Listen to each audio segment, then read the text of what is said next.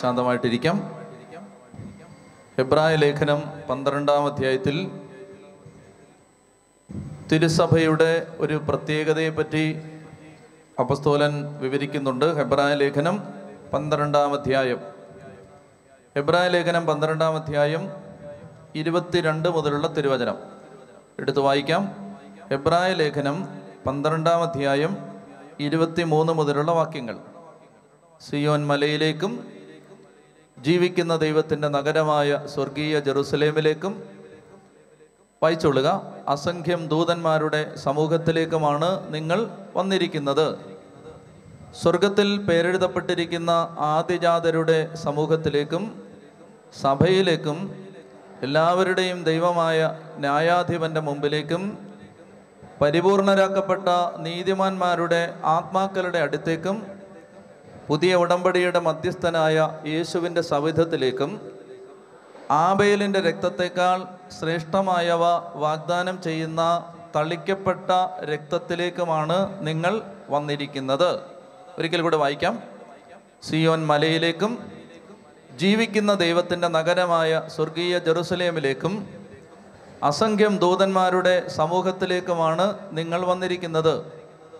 സ്വർഗത്തിൽ പേരെഴുതപ്പെട്ടിരിക്കുന്ന ആദിജാതരുടെ സമൂഹത്തിലേക്കും സഭയിലേക്കും എല്ലാവരുടെയും ദൈവമായ ന്യായാധിപന്റെ മുമ്പിലേക്കും പരിപൂർണരാക്കപ്പെട്ട നീതിമാന്മാരുടെ ആത്മാക്കളുടെ അടുത്തേക്കും പുതിയ ഉടമ്പടിയുടെ മധ്യസ്ഥനായ യേശുവിന്റെ സവിധത്തിലേക്കും ആബേലിന്റെ രക്തത്തെക്കാൾ ശ്രേഷ്ഠമായവ വാഗ്ദാനം ചെയ്യുന്ന തളിക്കപ്പെട്ട രക്തത്തിലേക്കുമാണ് നിങ്ങൾ വന്നിരിക്കുന്നത്. ശ്രദ്ധിക്കാമോ? ഇവിടെ എബ്രായ ലേഖന കർത്താവ് പറയുകയാണ് സഭയിലേക്ക് ഒരു വ്യക്തി വരുമ്പോൾ ആ വ്യക്തി വന്നിരിക്കുന്നത് പിതാവ് പുത്രൻ പരിശുദ്ധാത്മാവ് എന്ന ത്രിയേക ദൈവത്തിലുള്ള വിശ്വാസത്തിലേക്ക് മാത്രം അല്ല. കത്തോലിക്ക സഭയുടെ വിശ്വാസവും അല്ലെങ്കിൽ പാരമ്പര്യ സഭകളുടെ എപ്പിസ്കോപ്പൽ സഭകളുടെ വിശ്വാസവും പെന്തക്കോസ്ത് വിശ്വാസവും തമ്മിലുള്ള അടിസ്ഥാനപരമായ വ്യത്യാസങ്ങളിൽ ഒന്ന് ഇതാണ്. അടിസ്ഥാനപരമായ വ്യത്യാസങ്ങളിൽ ഒന്ന് ഇതാണ്. ഇത് ശ്രദ്ധിക്കണം. അതായത് പെന്തക്കോസ്ത് വിശ്വാസങ്ങൾ അനുസരിച്ച് ആ വിശ്വാസങ്ങൾക്ക് കുറ്റം പറയാമെന്ന് വിചാരിക്കരുത്. ഒരു ഐകരൂപ്യം ഇല്ല. എന്ന് പറഞ്ഞാൽ ആ സമൂഹങ്ങളുടെ വിശ്വാസത്തിന് ഒരു വ്യക്തതയില്ല. ഓരോരുത്തരും ഓരോ വ്യാഖ്യാനങ്ങളാണ് പറയുന്നത്. പക്ഷേ ആ സമൂഹങ്ങളെല്ലാം പൊതുവായിട്ട് വിലയിരുത്തിയാൽ പെന്തക്കോസ്ത് സമൂഹങ്ങളുടെ വിശ്വാസത്തിന്റെ ഒരു പ്രത്യേകത. അവർ പിതാവ് പുത്രൻ പരിശുദ്ധാത്മാവ് അങ്ങനെയും പറയുന്നവർ കുറവാണ്. സാധിക്കുന്നിടത്തോളം യേശുവിലുള്ള വിശ്വാസം പിതാവ് പുത്രൻ പരിശുദ്ധാത്മാവ് എന്നുള്ള ത്രിയേക ദൈവത്തെ ദൈവത്തോടുള്ള ആരാധന അതും കാര്യമായിട്ട് പറയുന്നില്ല.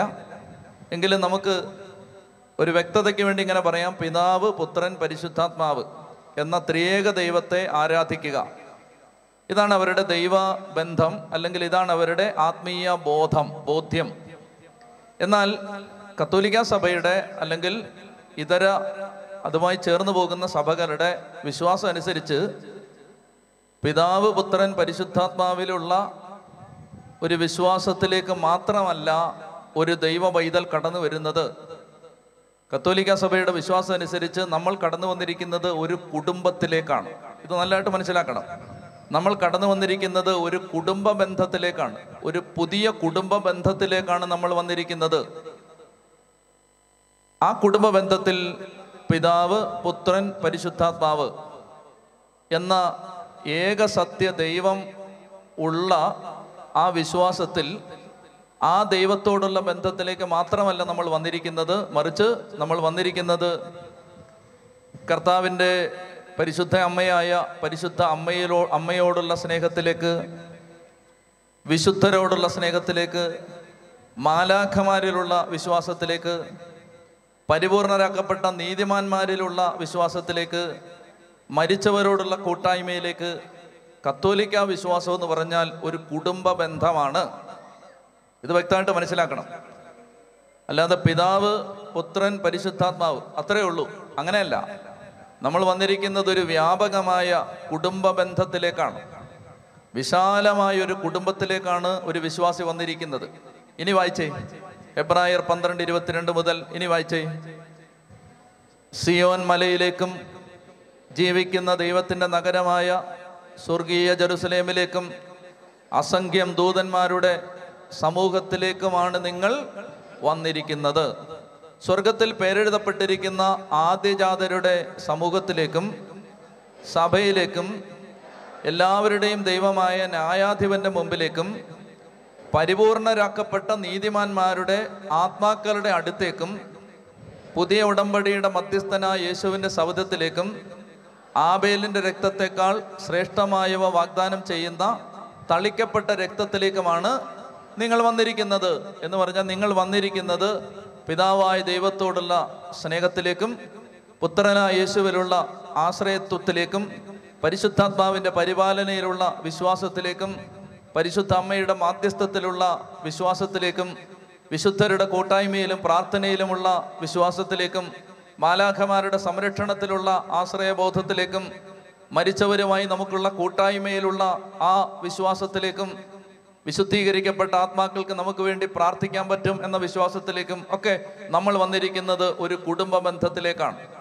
ഇതാണ് കത്തോലിക്ക വിശ്വാസത്തിന്റെ ഒരു പ്രത്യേകത. നമ്മളൊരു കുടുംബത്തിലേക്കാണ് വന്നിരിക്കുന്നത്. അതുകൊണ്ടാണ് നമ്മൾ മരിച്ചവർക്ക് വേണ്ടി പ്രാർത്ഥിക്കുന്നത്. അതുകൊണ്ടാണ് നമ്മൾ വിശുദ്ധരുടെ മാധ്യസ്ഥം തേടുന്നത്. ജീവിച്ചിരിക്കുന്ന സഭയിലെ ജീവിച്ചിരിക്കുന്ന മക്കളുടെ കൂട്ടായ്മയിൽ ജീവിക്കുമ്പോൾ ഒരു വൈദികന്റെ അടുത്ത് പോയി ഒരു പ്രാർത്ഥനാ മനുഷ്യന്റെ അടുത്ത് പോയി പ്രാർത്ഥന ചോദിക്കുന്നത് പോലെ തന്നെ പരിപൂർണരാക്കപ്പെട്ട നീതിമാന്മാരുടെ ആത്മാക്കളോട് നമ്മൾ പ്രാർത്ഥന ചോദിക്കാറുണ്ട്. ഇതൊക്കെയാണ് ഈ വിശ്വാസത്തിന്റെ പ്രത്യേകത. അപ്പൊ അതാണ് കത്തോലിക്ക വിശ്വാസത്തിന്റെ പ്രത്യേകത. ഇനി ഹെബ്രായ ലേഖനം പന്ത്രണ്ടാം അധ്യായം ഒന്നാം വാക്യം വായിക്കാം. ഹെബ്രായ ലേഖനം പന്ത്രണ്ടാം അധ്യായം ഒന്നാം വാക്യം വായിക്കാമോ? നമുക്ക് ചുറ്റും സാക്ഷികളുടെ വലിയ സമൂഹമുള്ളതിനാൽ നമ്മെ വിഷമിപ്പിക്കുന്ന ഭാരവും പാപവും നമുക്ക് നീക്കിക്കളയാം. നമുക്കായി നിശ്ചയിച്ചിരിക്കുന്ന ഈ ഓട്ടപ്പന്തയം സ്ഥിരോത്സാഹത്തോടെ നമുക്ക് ഓടിത്തീർക്കാം. ഒന്നുകൂടെ വായിക്ക്. നമുക്ക് ചുറ്റും സാക്ഷികളുടെ വലിയ സമൂഹമുള്ളതിനാൽ നമ്മെ വിഷമിപ്പിക്കുന്ന ഭാരവും പാപവും നമുക്ക് നീക്കിക്കളയാം.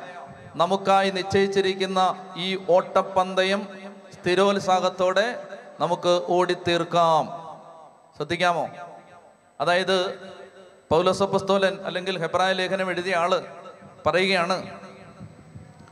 പതിനൊന്നാം അധ്യായത്തിൽ പറയുന്നത് ആദം മുതൽ ആബേൽ മുതൽ താഴോട്ടുള്ള നീതിമാന്മാരുടെ വിവരണം നടത്തിയിട്ട് പതിനൊന്നാം അധ്യായത്തിൽ അവരെക്കുറിച്ചുള്ള വീരചരിതങ്ങൾ വർണിച്ചതിന് ശേഷം അവരെക്കുറിച്ചുള്ള വീരഗാഥകൾ എഴുതിയതിന് ശേഷം അവർ അലഞ്ഞു നടക്കുകയും സിംഹങ്ങൾക്കിരയായി തീരുകയും സിംഹങ്ങളുടെ വായടയ്ക്കുകയും അവർ വീരോചിതമായി വിശ്വാസ സാക്ഷ്യം സ്വന്തം ജീവരക്തം കൊണ്ട് ഈ പ്രപഞ്ചത്തിൽ എഴുതി ചേർത്തിട്ട് കടന്നു പോവുകയും ചെയ്ത മഹാമനുഷ്യരുടെ ജീവിതഗാഥകൾ പതിനൊന്നാം അധ്യായത്തിൽ എഴുതിയിട്ട് എബ്രായ ലേഖന കർത്താവ് പന്ത്രണ്ടാം അധ്യായത്തിന്റെ ഒന്നാം വാക്യത്തിൽ പറയുകയാണ് നോക്കൂ വായനക്കാരാ നമുക്ക് ചുറ്റും ഇത്തരം സാക്ഷികളുടെ വലിയ സമൂഹമുള്ളതിനാൽ നമ്മെ വിഷമിപ്പിക്കുന്ന ഭാരവും പാപവും നമുക്ക് നീക്കിക്കളയാം. നമുക്കായി നിശ്ചയിച്ചിരിക്കുന്ന ഈ ഓട്ടപ്പന്തയം സ്ഥിരോത്സാഹത്തോടെ നമുക്ക് ഓടിത്തീർക്കാം. ചെത്തി പറഞ്ഞേ ഹാലേലുയാ. അതരം തുറന്ന് ഹാലേലുയാ. പ്രിയപ്പെട്ട മക്കളെ ഈ രാത്രിയിൽ അതിശക്തമായ ചില ബോധ്യങ്ങളിലേക്ക് നമ്മൾ എത്തണമെന്ന് പരിശുദ്ധാത്മാവ് ആഗ്രഹിക്കുന്നുണ്ട്. ഞാൻ ചില കാര്യങ്ങൾ ആത്മാവിന്റെ ഹൃദയത്തിൽ തരുന്ന പ്രേരണകൾ സത്യസന്ധമായി നിങ്ങളോട് പങ്കുവെക്കും. അപ്പോൾ നിങ്ങൾ മനസ്സിലാക്കേണ്ടത് ഇതാണ്. അരുവിത്തറയിലേക്ക് കർത്താവ് എന്നെ അയച്ചതാണ്. നിങ്ങളെ കൂട്ടിക്കൊണ്ടു വന്നതാണ്. ഇത് നിങ്ങൾ വിശ്വസിക്കുന്നുണ്ടോ? തീർച്ചയായിട്ടും ഉണ്ട്. കാരണം ഈ കൺവെൻഷന് കർത്താവാണ് എന്നെ അയക്കുന്നത്. ഞാൻ ഏത് കൺവെൻഷൻ എടുക്കും മുമ്പും ഒരു അഞ്ച് മിനിറ്റ് എങ്കിലും കർത്താവിനോട് ചോദിക്കും ദൈവമേ ഞാൻ ഇതിന് പോണോ? ഇതിന് പോണമോ? നിങ്ങളൊരു കാര്യം മനസ്സിലാക്കിയിരിക്കണം. അതായത് അയ്യായിരം പേരുണ്ടെങ്കിലേ പോവും പതിനായിരം പേരുണ്ടെങ്കിലേ പോവും എന്ന് ഇന്ന് വരെ ഞാൻ കർത്താവിന്റെ മുമ്പിൽ നിന്ന് പറയുകയാണ്. ഞാൻ അങ്ങനെ ഒരു വാശി പിടിച്ചിട്ടേ ഇല്ല. പക്ഷെ ഞാൻ എന്നും കർത്താവിനോട് പ്രാർത്ഥിക്കും ദൈവമേ ഞാൻ പോകണ്ടാത്തടുത്ത് എന്നെ നീ വിടരുത്. ഞാൻ പോകരുതാത്തടുത്ത് ഞാൻ പോകാൻ ഇടയാവരുത്. ഞാൻ പത്ത് പേരെ ധ്യാനിപ്പിക്കാൻ പോകുന്നുണ്ട് അമ്പത് പേരെ ധ്യാനിപ്പിക്കാൻ പോകുന്നുണ്ട് അയ്യായിരം പേരെ ധ്യാനിപ്പിക്കാനും പോകുന്നുണ്ട്. ഞാൻ പറയുന്നത് എന്റെ വീരഗാഥ പറയാനല്ല. ഞാൻ പറയുമ്പോൾ ചില കാര്യങ്ങൾ നിങ്ങൾ മുഷിയരുത്. കാരണം എനിക്ക് കർത്താവ് എന്റെ ഹൃദയത്തിൽ ചില ബോധ്യങ്ങൾ തന്നാൽ അത് പറയാതിരുന്നാൽ ഞാൻ ശിക്ഷ അനുഭവിക്കേണ്ടി വരും. ഈ സമയത്ത് ഞാൻ മിണ്ടാതിരുന്നാൽ ഞാൻ ശിക്ഷ അനുഭവിക്കേണ്ടി വരും. അതുകൊണ്ട് ഞാൻ ചില തിരുത്തലുകൾ നിങ്ങളോട് പറയും. അപ്പോൾ അത് നിങ്ങളോട് പറയുമ്പോൾ നിങ്ങൾ ശ്രദ്ധിക്കേണ്ടത് അത് നിങ്ങൾ മനസ്സിലാക്കിയിരിക്കേണ്ടത് എപ്പോഴും മനസ്സിലാക്കേണ്ടത് കർത്താവിന്റെ വചനത്തിന് മുമ്പിൽ വിശ്വസ്തയോടെ നിൽക്കുന്ന വചനത്തിന്റെ മുമ്പിൽ. എന്റെ ജീവിതം അത്ര നല്ലതാണെന്നൊന്നും എനിക്ക് അവകാശവാദമില്ല. പക്ഷേ ഞാൻ ഈ പുസ്തകത്തിന്റെ മുമ്പിൽ എന്നും എന്നും വിശ്വസ്തനായിരുന്നുവെന്ന് എനിക്ക് മനസാക്ഷി കുത്തില്ലാതെ പറയാൻ പറ്റും. ഈ പുസ്തകത്തോട് ഞാൻ എന്നും വിശ്വസ്തനായിരുന്നു. ഈ പുസ്തകത്തിൽ ഒരു വചനം കർത്താവ് എന്നോട് സംസാരിച്ചാൽ കർത്താവ് എന്നോട് കഥയെത്തി പറഞ്ഞാൽ അത് പറയാൻ ഞാൻ ഇന്നു വരെയും മടി കാണിച്ചിട്ടില്ല. അത് ഞാൻ വിഴുങ്ങിയിട്ടില്ല. ഞാനിത് എന്തിനു ആമുഖമായിട്ട് പറയുന്നതെന്നറിയാമോ? ഈ രാത്രിയിൽ കർത്താവ് അതിശക്തമായ ചില പ്രേരണകൾ നിങ്ങളോട് പങ്കുവെക്കാൻ എന്നെ പ്രേരിപ്പിക്കുന്നുണ്ട്.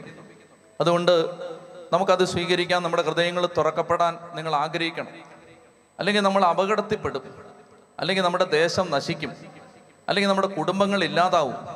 നമ്മുടെ മക്കളെ പിശാച് കൊണ്ടുപോകും.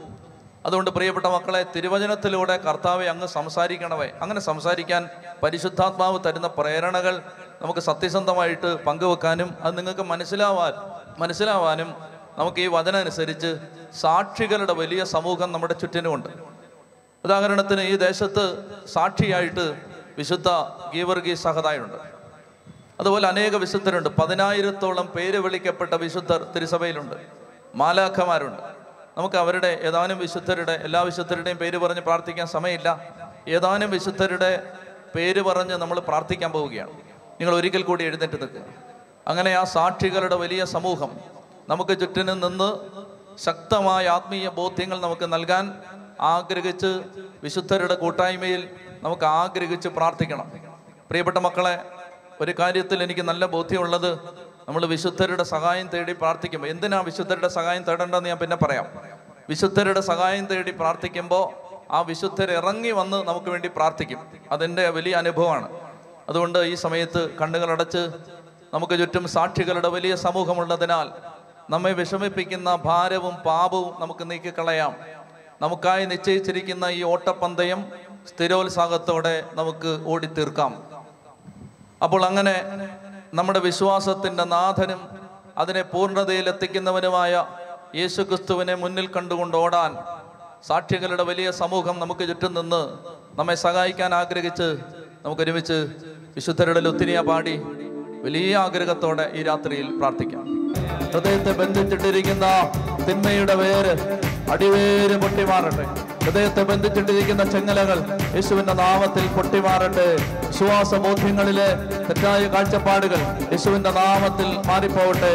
പരിശുദ്ധമായ ദിവ്യകാരുണ്യ ശക്തിയിൽ നിന്ന് ദൈവമക്കളെ അകറ്റിക്കളയുന്ന എല്ലാ സ്വാധീനങ്ങളും യേശുവിന്റെ നാമത്തിൽ മാറിപ്പോവട്ടെ. തിന്മയുടെ ശക്തികൾ സ്വാധീനങ്ങൾ അധികാരങ്ങൾ യേശുവിന്റെ നാമത്തിൽ മാറിപ്പോവട്ടെ. ആത്മാവിന്റെ അഭിഷേക ശക്തി ഓരോ കുടുംബത്തിലേക്ക് വന്നു നിറയട്ടെ.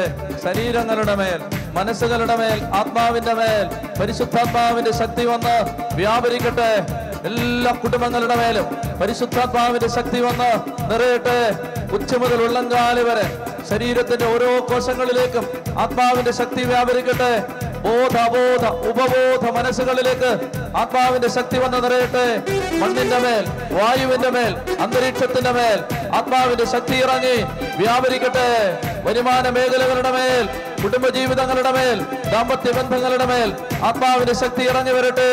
ഓരോ കുടുംബത്തിന്റെ മേലും പരിശുദ്ധാത്മാവിന്റെ ശക്തി വന്ന് വ്യാപരിക്കട്ടെ. പരിശുദ്ധ സഭയുടെ സത്യവിശ്വാസത്തെ നശിപ്പിച്ചു കളയുന്ന എല്ലാ പൈശാചിക സ്വാധീനങ്ങളും യേശുവിന്റെ നാമത്തിൽ മാറിപ്പോകട്ടെ. ഉച്ചത്തിൽ വിളിക്കുന്നു ഈശോ.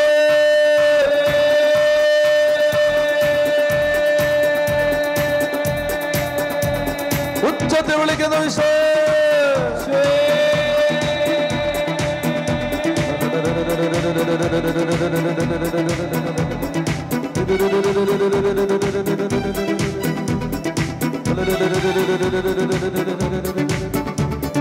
കരങ്ങളടിച്ച്.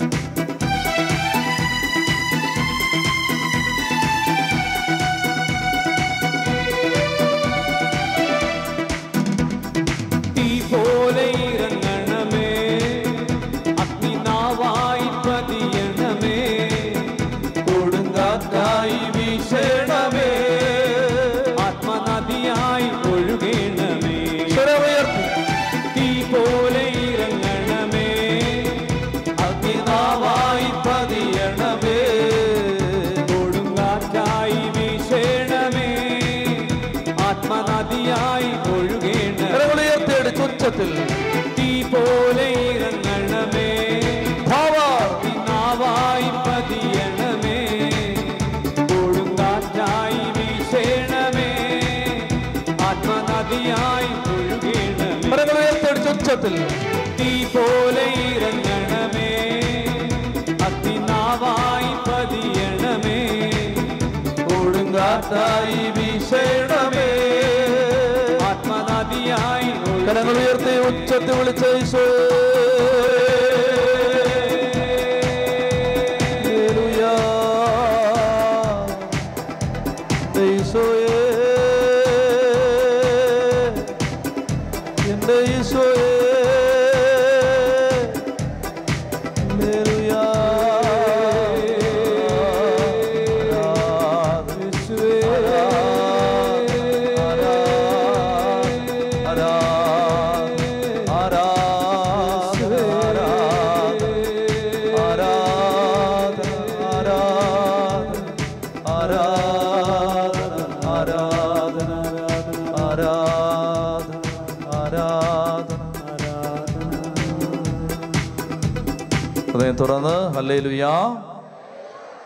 ഇരുന്നേ പ്രിയപ്പെട്ട മക്കളെ ഈ രാത്രിയിൽ നമ്മൾ ഇന്നലെ ചിന്തിച്ചതിന്റെ തുടർച്ചയായിട്ട് മുന്നോട്ട് പോവുകയാണ്. നമുക്ക് കർത്താവ് അതിശക്തമായ വചനം തരാൻ ദൈവം ആഗ്രഹിക്കുന്നുണ്ട്. ദൈവിക വെളിപ്പെടുത്തലുകൾ തിരുവചനത്തിൽ നിന്ന് തരാൻ കർത്താവ് ആഗ്രഹിക്കുന്നുണ്ട്. അതുകൊണ്ട് നമുക്ക് ഹൃദയം തുറന്ന വചനം കേൾക്കാം. നിങ്ങൾ ഭരപ്പെടുമെന്നും വേണ്ട അച്ഛൻ രാജാക്കന്മാരുടെ ഒന്നാം പുസ്തകം പതിനാറ് പതിനേഴിൽ നിന്ന് മുന്നോട്ട് പോകുന്നില്ലല്ലോ എന്ന് നിങ്ങൾ വിഷമിക്കണ്ട. ഞാൻ മുന്നോട്ട് പോവില്ല. കാരണം ദൈവത്തിന്റെ ആത്മാവ് നയിക്കുന്ന വഴിക്ക് നമ്മൾ പോയാലേ ഈ കൺവെൻഷൻ കൊണ്ട് അനുഗ്രഹം ഉണ്ടാവും. അല്ലെങ്കിൽ നിങ്ങൾക്ക് ഇഷ്ടമുള്ള എന്തെങ്കിലും വിഷയം പറയുകയോ അല്ലെങ്കിൽ ഒരുപക്ഷെ എനിക്ക് പറയാൻ എളുപ്പമുള്ളത് പറയുകയോ ഒക്കെ ചെയ്താൽ പരിശുദ്ധാത്മാവ് പ്രസാദിക്കില്ല. അതുകൊണ്ട് എന്റെ മേൽ ഒരു നുകം വെക്കപ്പെട്ടിട്ടുണ്ട്. അതായത് ആത്മാവ് പറയുന്ന വഴിക്ക് മാത്രമേ എനിക്ക് പോകാൻ അനുവാദമുള്ളൂ. അതുകൊണ്ട് ഞാൻ ഇന്നും ഇവിടെ തന്നെ നിൽക്കുകയാണ്. ഇനി അടുത്ത ദിവസവും അങ്ങനെ തന്നെ ആണെങ്കിൽ അവിടെ തന്നെ നിൽക്കും. കാരണം ചില കാര്യങ്ങളിൽ പരിശുദ്ധാത്മാവ് അങ്ങനെ നമ്മളെ അങ്ങനെ നയിക്കാറുണ്ട്. അത് നല്ലതിനാണ്. അതുകൊണ്ട് നിങ്ങൾ ഭാരപ്പെടുകയൊന്നും വേണ്ട. അഞ്ച് രാത്രികൾ വെറുതെ കളഞ്ഞെന്ന് നിങ്ങൾ വിചാരിക്കേണ്ട. പരിശുദ്ധാത്മാവ് ശക്തമായിട്ട് പ്രവർത്തിക്കുന്നുണ്ട്. അത് ദൈവം നമുക്ക് വെളിപ്പെടുത്തി തരും. എനിക്ക് പറയാനുള്ളത് ജസബൽ അരൂപി അതിനെക്കുറിച്ച് പറയാനാണ് ഈ ദേശത്ത് വന്നപ്പോൾ കർത്താവ് എനിക്ക് പ്രേരണ തന്നത്. ഞാൻ അതിനെക്കുറിച്ച് ആദ്യത്തെ ദിവസം പറഞ്ഞു. ഇന്നലെ നമ്മൾ അതിനെക്കുറിച്ച് കൂടുതൽ മനസ്സിലാക്കി. അതായത് അങ്ങനെ ഒരു അരൂപി വന്നാൽ കാര്യസാധ്യത്തിന് വേണ്ടി മാത്രം ഒരു ഭക്തി വരികയും ജീവിതം തിരുത്താൻ ദൈവഭക്തര് തയ്യാറാവാതിരിക്കുകയും ചെയ്താൽ സംഭവിക്കുന്നത് എന്തൊക്കെയാണെന്ന് നമ്മൾ കണ്ടു. തങ്ങളുടെ സ്വാർത്ഥ താല്പര്യങ്ങൾക്ക് വേണ്ടി അവർ ആരെയും തങ്ങളുടെ ഉപയോഗത്തിന് വേണ്ടി ഉപയോഗിക്കും. തങ്ങളുടെ ഇഷ്ടങ്ങൾക്ക് വേണ്ടി ആരെയും അവർ ഉപയോഗിക്കും. ആരുടെയും എന്തും അവർ കവർച്ച ചെയ്യും. അവർക്ക് ധാർമ്മികത ഉണ്ടാവില്ല. അപ്പൊ അതാണ് അങ്ങനെയുള്ള വിശ്വാസത്തിന്റെ അപകടം. ദൈവത്തിന്റെ വചനം അനുസരിക്കാതെ ദൈവവചനം പാലിക്കാതെ അനുഗ്രഹം കിട്ടില്ല. നിലനിൽക്കുന്ന അനുഗ്രഹം കിട്ടണമെങ്കിൽ ചെപ്പടി വിദ്യകൾ കാണിച്ചാൽ പോരാ. മറിച്ച് ദൈവവചനം പാലിക്കണം. അതല്ലാതെ നിലനിൽക്കുന്ന വേദപുസ്തകം പറയുന്ന അനുഗ്രഹങ്ങൾ നമുക്ക് കിട്ടില്ല. താൽക്കാലിക ലാഭം കണ്ട് ഒരു വഴിക്ക് പോകരുത്. അത് അപകടത്തിലേക്ക് നയിക്കും. ദൈവം എല്ലാം തരും. അത് ഞാൻ ഇന്നലെ പറഞ്ഞു. ദൈവത്തിൽ ആശ്രയിച്ചാൽ ഏകാഗ്രമായും ഭക്തിയോടെയും ഹൃദയത്തെ ഏകാഗ്രമാക്കുകയും ദൈവത്തെ ആരാധിക്കുകയും ദൈവവചനം പാലിക്കുകയും ചെയ്യാൻ ഒരു വ്യക്തി തന്നെ തന്നെ സമർപ്പിച്ചാൽ അവന്റെ നിഗൂഢമായ ആഗ്രഹങ്ങൾ പോലും ദൈവം സാധിച്ചു തരും. നമ്മൾ ഈ കാര്യങ്ങളെല്ലാം ഇന്നലെ വിശദമായിട്ട് മനസ്സിലാക്കി. ഇനി അവിടെ നിന്ന് അല്പം കൂടി മുന്നോട്ട് പോകുമ്പോൾ നമ്മൾ കാണുന്നത് രാജാക്കന്മാരുടെ ഒന്നാം പുസ്തകത്തിൽ പതിനെട്ടാമത്തെ അധ്യായത്തിൽ. പതിനേഴാം അധ്യായത്തിലാണ് ഏലിയ വന്ന് ബാൽദേവന് ക്ഷേത്രം പണിയുകയും അക്ഷയരാ ദേവതയ്ക്ക് പ്രതിഷ്ഠ നടത്തുകയും ചെയ്ത നിന്റെ രാജ്യത്ത് ഞാൻ സേവിക്കുന്ന ഇസ്രായേലിന്റെ ദൈവമാണ്. ഞാൻ പറഞ്ഞല്ലാതെ മഴയോ മഞ്ഞോ പെയ്യില്ല എന്ന് പ്രവചനം നടത്തിയിട്ട് ഒരു കൊടുങ്കാറ്റ് പോലെ ഏലിയ ഇറങ്ങിപ്പോയി. അവിടെ നിന്ന് ഏലിയ പോയി കെറീത്ത് തോടിന്റെ തീരത്ത് താമസിച്ചു കാക്കകൾ അപ്പം കൊണ്ടുവന്ന് കൊടുത്തു.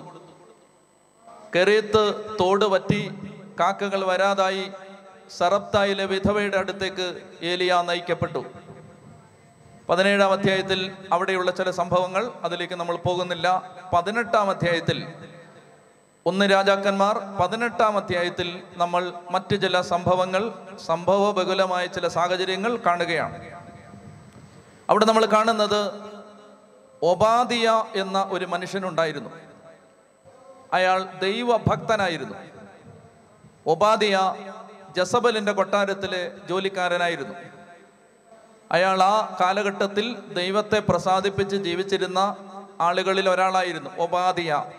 നിങ്ങൾക്ക് സംശയം വരാൻ പാടില്ല. ബൈബിളിലെ പ്രവചന ഗ്രന്ഥങ്ങളിൽ ഒബാദിയ എന്ന പേരിൽ ഒരു പ്രവാചകന്റെ പുസ്തകമുണ്ട്. ആ ഒബാദിയും ഈ ഒബാദിയും രണ്ടുപേരാണ് ഒന്നല്ല. ഇത് ഏലിയ ജീവിച്ചിരുന്ന കാലത്ത് ജീവിച്ചിരുന്ന ഒരു ദൈവഭക്തൻ. പേരെന്താണ്? പേരെന്താണ്? ഒബാദിയ. അങ്ങനെ ഈ ഒബാദിയ രാജകൊട്ടാരത്തിലെ ജോലിക്കാരനാണ്. ഈ ഒബാദിയയ്ക്ക് ഒരു ഭൂതകാലമുണ്ട്. ഇദ്ദേഹം ഒരിക്കൽ ജസബൽ രാജ്ഞി സത്യദൈവത്തിന്റെ യഹോവയെ ആരാധിക്കുന്ന അൻപത് പ്രവാചകന്മാരെ അല്ല കുറേ പ്രവാചകന്മാരെ കൊല്ലാൻ തുടങ്ങിയപ്പോൾ ഒബാദിയ കൊട്ടാരത്തിൽ നിന്ന് ഈ വിവരം രഹസ്യമായി ചോർത്തിയെടുത്ത് ഈ പ്രവാചകന്മാരെ അൻപത് പേരെ അൻപത് പേരെ വീതം ഓരോ ഗുഹയിൽ താമസിപ്പിച്ച് മാസങ്ങളോളം രഹസ്യമായി അവർക്ക് ഭക്ഷണം കൊടുത്ത് അവരെ സംരക്ഷിച്ച ഒരു ദൈവഭക്തനാണ് ആര്? ഒബാദിയ. അപ്പോൾ ഈ ഒബാദിയെ ആഹാബ് രാജാവിന് താല്പര്യമുണ്ട്. കാരണം ദൈവഭക്തനായതുകൊണ്ട് അവനെ വിശ്വസിക്കാൻ കൊള്ളാം എന്ന് ആഹാബ് രാജാവിന് അറിയാവുന്നതുകൊണ്ട് ആഹാബ് പറഞ്ഞു മൂന്ന് കൊല്ലമായി മഴ പെയ്തിട്ട്. മഴ പെയ്തിട്ട് മൂന്ന് കൊല്ലായി. ദേശത്തെങ്ങും ക്ഷാമം വരൾച്ച വരണ്ട് കിടക്കുന്ന ഊഷരമായി കിടക്കുന്ന മണ്ണ് മഴയ്ക്ക് വേണ്ടി കാത്തിരിക്കുന്ന മണ്ണ് ചത്തൊടുങ്ങുന്ന കന്നുകാലികൾ പുല്ലും പുൽനാമ്പും ഇല്ലാതെ പുൽമേടുകളില്ലാതെ കത്തിക്കരിഞ്ഞ സസ്യലതാദികളും വൃക്ഷ വൃക്ഷങ്ങളുമെല്ലാം കത്തിക്കരിഞ്ഞ് അങ്ങനെ ദേശം മുഴുവൻ വരണ്ട് കിടക്കുമ്പോൾ ആകാബ് ഒബാദിയോട് പറയുകയാണ് നമുക്ക് രണ്ട് ഭാഗത്തേക്ക് പോവാം.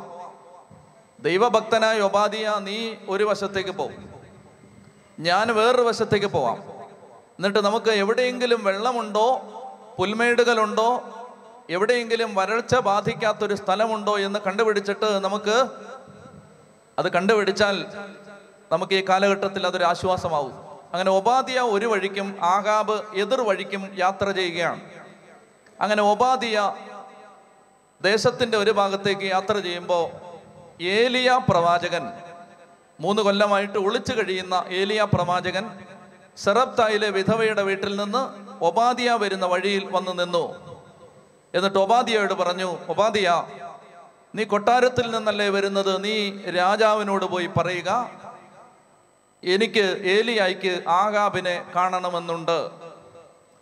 അപ്പോൾ ഒബാദിയ പറയുകയാണ് നിന്നെ കണ്ടാൽ പച്ചയ്ക്ക് കൊല്ലാൻ കാത്തു നിൽക്കുകയാണ് രാജാവ്. രാജാവ് നിന്നെ കണ്ട വെറുതെ വിടില്ല. മാത്രമല്ല ഞാൻ ചെന്നിട്ട് രാജാവിനോട് പറയുകയാണ് രാജാവെ ഏലിയായെ കണ്ടു എന്ന് പറഞ്ഞ് ഒരു ഇൻഫർമേഷൻ കൊടുത്താൽ ആകാബ് രാജാവ് നിന്നെ പിടിക്കാൻ വരുമ്പോഴേക്കും കർത്താവിന്റെ ആത്മാവ് നിന്നെ വേറെ എവിടേക്കെങ്കിലും കൊണ്ടുപോകും. ആകാബിന് കാണാൻ പറ്റാത്ത ഒരു സ്ഥലത്തേക്ക് അവസാനം ഞാൻ വധിക്കപ്പെടും. അപ്പൊ ഏലിയ ഉപാധിയോട് പറയാണ് നീ ഭയപ്പെടണ്ട. ഇക്കാര്യത്തിൽ നീ പേടിക്കണ്ട. ഞാൻ സേവിക്കുന്ന ഇസ്രായേലിന്റെ ദൈവമാണ്. ഉറപ്പ് ഞാൻ തരുകയാണ്. നീ ഏലിയ നീ ആഹാബിനോട് പറയുക ഏലിയായിക്ക് ആഹാബിനെ കാണണം. അങ്ങനെ ആഹാബ് രാജാവ് ഏലിയായെ കാണാനെത്തുകയാണ്. അപ്പോൾ ആഹാബ് രാജാവ് ചോദിക്കുകയാണ് ഇസ്രായേലിനെ കഷ്ടപ്പെടുത്തുന്ന ഏലിയായല്ലേ നീ? ആകാബിനോട് ഏലിയ സധൈര്യം മറുപടി പറയുകയാണ് ഇസ്രായേലിനെ കഷ്ടപ്പെടുത്തുന്നത് ഞാനല്ല സത്യദൈവത്തെ ആരാധിക്കാതെ ബാലിനെ പിഞ്ചെല്ലുന്ന നീയാണ് ഇസ്രായേലിനെ കഷ്ടപ്പെടുത്തുന്നത്. ആഹാബ് ചോദിച്ചു എന്ത് ചെയ്യണം? ഏലിയ പറഞ്ഞു ജനത്തെ മുഴുവൻ കാർമൽ മലയിൽ ഒരുമിച്ച് കൂട്ടുക. ബാലിന്റെ നാനൂറ് പ്രവാചകന്മാരെയും അഷേരായുടെ നാനൂറ്റി അൻപത് പ്രവാചകന്മാരെയും കാർമലയിൽ മലയിൽ കാർമൽ മലയിൽ വിളിച്ചു കൂട്ടുക. കാർമൽ മലയിൽ ഏതാണ്ട് മുപ്പതിനായിരത്തോളം ആളുകൾക്ക് ഒരുമിച്ച് കൂടാൻ പറ്റുന്ന ഒരു സ്ഥലമുണ്ടായിരുന്നു. അവിടെ ആവണം. ഈ ജനത്തെ മുഴുവൻ വിളിച്ചു കൂട്ടാൻ ഏലിയ ആവശ്യപ്പെട്ടത്. അങ്ങനെ ഏലിയ പറഞ്ഞ പ്രകാരം ആകാബ് രാജാവ് ബാലിന്റെ നാനൂറ്റി അൻപത് പ്രവാചകന്മാരെ അഷേരായുടെ നാനൂറ് പ്രവാചകന്മാരെ അങ്ങനെ എണ്ണൂറ്റി അൻപത് പ്രവാചകന്മാരെയും ഇസ്രായേലിലെ ജനസമൂഹത്തെയും വിളിച്ചുകൂട്ടി കാർമൽ മലയുടെ മുകളിൽ. ഇനി ശ്രദ്ധിക്കുക. കാർമൽ മലയുടെ മുകളിൽ ജനക്കൂട്ടം വരുമ്പോ വായിക്കാം. രാജാക്കന്മാരുടെ ഒന്നാം പുസ്തകം പതിനെട്ടാം അധ്യായം ഇരുപത് മുതലുള്ള വാക്യങ്ങൾ. ഒന്ന് രാജാക്കന്മാർ പതിനെട്ട് ഇരുപത് മുതൽ. ആകാബ് ഇസ്രായേൽ ജനത്തെയും പ്രവാചകന്മാരെയും കാർമൽ മലയിൽ ഒരുമിച്ച് കൂട്ടി. ഏലിയ ജനത്തെ സമീപിച്ച് ചോദിച്ചു നിങ്ങൾ എത്ര നാൾ രണ്ട് വഞ്ചയിൽ കാൽ വയ്ക്കും? കർത്താവാണ് ദൈവമെങ്കിൽ അവിടുത്തെ അനുഗമിക്കുവിൻ. ബാലാണ് ദൈവമെങ്കിൽ അവന്റെ പിന്നാലെ പോകുവിൻ. മതി. ഒന്നുകൂടെ വായിച്ചേ. ആഹാബ് ഇസ്രായേൽ ജനത്തെയും പ്രവാചകന്മാരെയും കാർമൽ മലയിൽ ഒരുമിച്ച് കൂട്ടി. ഏലിയ ജനത്തെ സമീപിച്ച് ചോദിച്ചു നിങ്ങൾ എത്ര നാൾ രണ്ട് വഞ്ചിയിൽ കാൽ വയ്ക്കും? കർത്താവാണ് ദൈവമെങ്കിൽ അവിടുത്തെ അനുഗമിക്കുവിൻ. ബാലാണ് ദൈവമെങ്കിൽ അവന്റെ പിന്നാലെ പോകുവിൻ. ഇനി എന്നെ ശ്രദ്ധിക്കുക. പ്രിയപ്പെട്ട മക്കളെ ഈ കാലഘട്ടത്തിൽ ഈ വചനം നമ്മൾ ശ്രദ്ധിക്കണം. എത്ര നാൾ നമ്മൾ രണ്ട് വഞ്ചിയിൽ കാൽ വെക്കും? എത്ര നാൾ നമ്മൾ രണ്ട് വഞ്ചിയിൽ കാൽ വെക്കും? ഏലിയ ചോദിച്ചൊരു ചോദ്യം രണ്ടായിരത്തി പത്തൊമ്പതിൽ ഞാനും ചോദിക്കുകയാണ് മക്കളെ എത്ര നാൾ നമ്മൾ രണ്ട് വഞ്ചിയിൽ കാലുവെക്കും ഏലിയുമായി ഏലിയായുമായി ഞങ്ങൾക്കൊരു ബന്ധമുണ്ട്. ഏലിയ ഞങ്ങളുടെ അമ്മാവിയുടെ മകനൊന്നും അല്ല. മറിച്ച് ഏലിയായുമായിട്ട് ഞങ്ങൾക്കുള്ളൊരു ബന്ധം ഞാൻ എട്ട് പത്ത് കൊല്ലം മുമ്പ് ഈ ശുശ്രൂഷകളൊക്കെ ആരംഭിക്കുന്ന കാലത്ത് അന്ന് ഞങ്ങൾക്കൊരു ചെറിയ പ്രെയർ ഗ്രൂപ്പുണ്ട് ആ പ്രെയർ ഗ്രൂപ്പ് പ്രാർത്ഥിച്ചൊക്കെ ഇങ്ങനെ തിരുവനന്തപുരത്ത് ദൈവമേ ഞങ്ങൾക്ക് വചനം പറയാൻ തിരുവചനം പ്രഘോഷിക്കാൻ നിന്നെ ആരാധിക്കാൻ ഒരു സ്ഥലം തരണേ എന്ന് പ്രാർത്ഥിക്കുന്ന ഒരു കാലമാണത്. അന്ന് ധ്യാന കേന്ദ്രമൊന്നുമില്ല സ്ഥലമൊന്നുമില്ല ഒന്നുമില്ലാത്തൊരു കാലം അന്ന് ആകെ ഉള്ളത് വിശ്വാസവും പ്രത്യാശയും മാത്രമാണ്. അപ്പോൾ അങ്ങനെ ഇരുന്ന് ഞങ്ങൾ പ്രാർത്ഥിച്ചുകൊണ്ടിരിക്കുന്ന ഒരു കാലം. ഞാനന്ന് കോളേജിൽ ഹോസ്റ്റലിലും കോളേജിലും ഒക്കെ ഉണ്ട്. അതിനു മുമ്പ് ഒരു പള്ളിയിലിരിക്കുന്നു. അപ്പോൾ ആ കാലഘട്ടത്തിൽ അന്ന് ഞങ്ങൾ പ്രാർത്ഥിക്കുമ്പോൾ ഞങ്ങൾ ഈ പ്രാർത്ഥനാ കൂട്ടായ്മ എല്ലാവരും ഒരുമിച്ച് വന്ന് ഏതാണ്ട് ഒരു പത്തൊമ്പത് പേര് മിക്കവാറും ഒക്കെ ഒരുമിച്ച് വന്ന് പ്രാർത്ഥിക്കും. അങ്ങനെ പ്രാർത്ഥിക്കുന്ന സമയത്ത് ഞങ്ങൾ ആ പ്രാ പ്രെയർ ഗ്രൂപ്പിന് ഒരു പേരിട്ടു. ആ പേരിട്ടത് കാർമൽ കാത്തലിക് മിനിസ്ട്രി. ചുമ്മാ ഇട്ടതാണ്. Carmel Catholic ministry. ആരോടും പറഞ്ഞിട്ടില്ല. പേരൊക്കെ ഉണ്ട് ആരോടും വെളിവിട്ടിട്ടില്ല. വെളിവിട്ടാൽ ഇഷ്ടം പോലെ ഇന്നത്തെക്കാൾ കൂടുതൽ ആക്ഷേപങ്ങളുള്ള കാലമാണത്. ആരെങ്കിലും പ്രാർത്ഥിക്കാനോ ദൈവത്തെ വിളിക്കാനോ തുടങ്ങിയാൽ ആക്ഷേപങ്ങളുള്ള കാലമാണ്. അതുകൊണ്ട് നമ്മൾ അറിഞ്ഞാൽ മതിയല്ലോ എന്തിനെ വെറുതെ പരസ്യപ്പെടുത്തുന്നതെന്ന് വിചാരിച്ചിട്ട് ഇവർക്ക് മാത്രമേ അറിയൂ. ഞാൻ പ്രത്യേകം പറഞ്ഞിരുന്നു നമ്മൾ ഈ നമ്മുടെ മിനിസ്ട്രിയുടെ പേര് വിളിച്ചു പറഞ്ഞുകൊണ്ട് നടക്കാനോ ഒന്നും മാത്രമല്ല ഔദ്യോഗികമായിട്ട് ഒരു മിനിസ്ട്രി എന്നൊക്കെ പറയുമ്പോൾ അതിന് പിതാവിനോട് പോയി അനുവാദം ചോദിച്ച് പിതാവ് സമ്മതിച്ച് അങ്ങനെയൊക്കെ വേണം തുടങ്ങാൻ. അപ്പോൾ ഔദ്യോഗികമായിട്ടൊരു മിനിസ്ട്രി പിതാവിനോട് ചോദിക്കാതെ തുടങ്ങാൻ പറ്റില്ല. അതുകൊണ്ട് ഇതൊരു അൺഒഫീഷ്യൽ നമ്മുടെ ഒരു പ്രെയർ ഗ്രൂപ്പ് അത് നമുക്കിടയിൽ ഇരുന്നാൽ മതി. നമ്മൾ ഒരുമിച്ച് കൂട്ടുന്നു. നമ്മുടെ നമ്മുടെ മിനിസ്ട്രിയുടെ പേര് കാർമൽ അങ്ങനെ പറയാൻ എന്താ കാരണം? അതൊന്നും അറിയാൻ പാടില്ല. അങ്ങനെ ഞങ്ങളിങ്ങനെ നാളുകൾ മുന്നോട്ട് പോയി. അങ്ങനെ ഇരിക്കുമ്പോൾ കർത്താവ് ഞങ്ങൾക്കൊരു സ്ഥലം തന്നു. ആ സ്ഥലം തന്നിട്ട് ഞാനൊരിക്കൽ ഞങ്ങളുടെ പിതാവിന്റെ മുറിയിലിരിക്കുമ്പോൾ പിതാവിന്റെ അടുത്ത് ചോദിച്ചു നമുക്ക് ഈ കൂട്ടായ്മയ്ക്ക് ഒരു പേരിടണ്ടേ? ഞാൻ മിണ്ടിയില്ല. പേരുണ്ടെന്ന് പറയാൻ കാരണം ഇപ്പൊ പറഞ്ഞാൽ നീ ഇത്രയും കാലമായിട്ട് എന്റെ അടുത്ത് പറഞ്ഞില്ലല്ലോ എന്ന് ചോദിക്കും. അതുകൊണ്ട് ഞാൻ മിണ്ടാതിരുന്നു. ഞാൻ പറഞ്ഞു പേരിടണം പിതാവേ. എന്നാ അച്ഛനൊരു പേര് പറയാൻ പറഞ്ഞു. ഞാൻ പറഞ്ഞില്ല പിതാവ് പറഞ്ഞാൽ മതി എന്ന് പറഞ്ഞു. പിതാവ് പറഞ്ഞാൽ മതി എന്ന് പറഞ്ഞു. ഞാൻ ഓർക്കുന്നുണ്ട് ഒരു നട്ടുച്ചയ്ക്കാണത്. ഏതാണ്ട് ഒരു മൂന്ന് മണി ഒരു ഉച്ച കഴിഞ്ഞാണ്. മൂന്ന് മണി ആയിട്ടുണ്ടാവും. ആ സമയത്താണ്. ഞാൻ കൃത്യമായിട്ട് ഓർക്കുന്നുണ്ട് ആ ദിവസം ആ സന്ദർഭമെല്ലാം എന്റെ മനസ്സിലുണ്ട്. ദൈവത്തിന്റെ പ്രവൃത്തികൾ എത്ര അത്ഭുതകരമാണെന്ന് ഞാൻ തിരിച്ചറിഞ്ഞ ദിവസങ്ങളിൽ ഒന്നാണത്. അപ്പം അങ്ങനെ പറയുമ്പോൾ പിതാവ് പറയുകയാണ് അത് അച്ഛനൊരു പേര് പറ. ഞാൻ പറഞ്ഞില്ല പിതാവ് പറഞ്ഞാൽ മതി.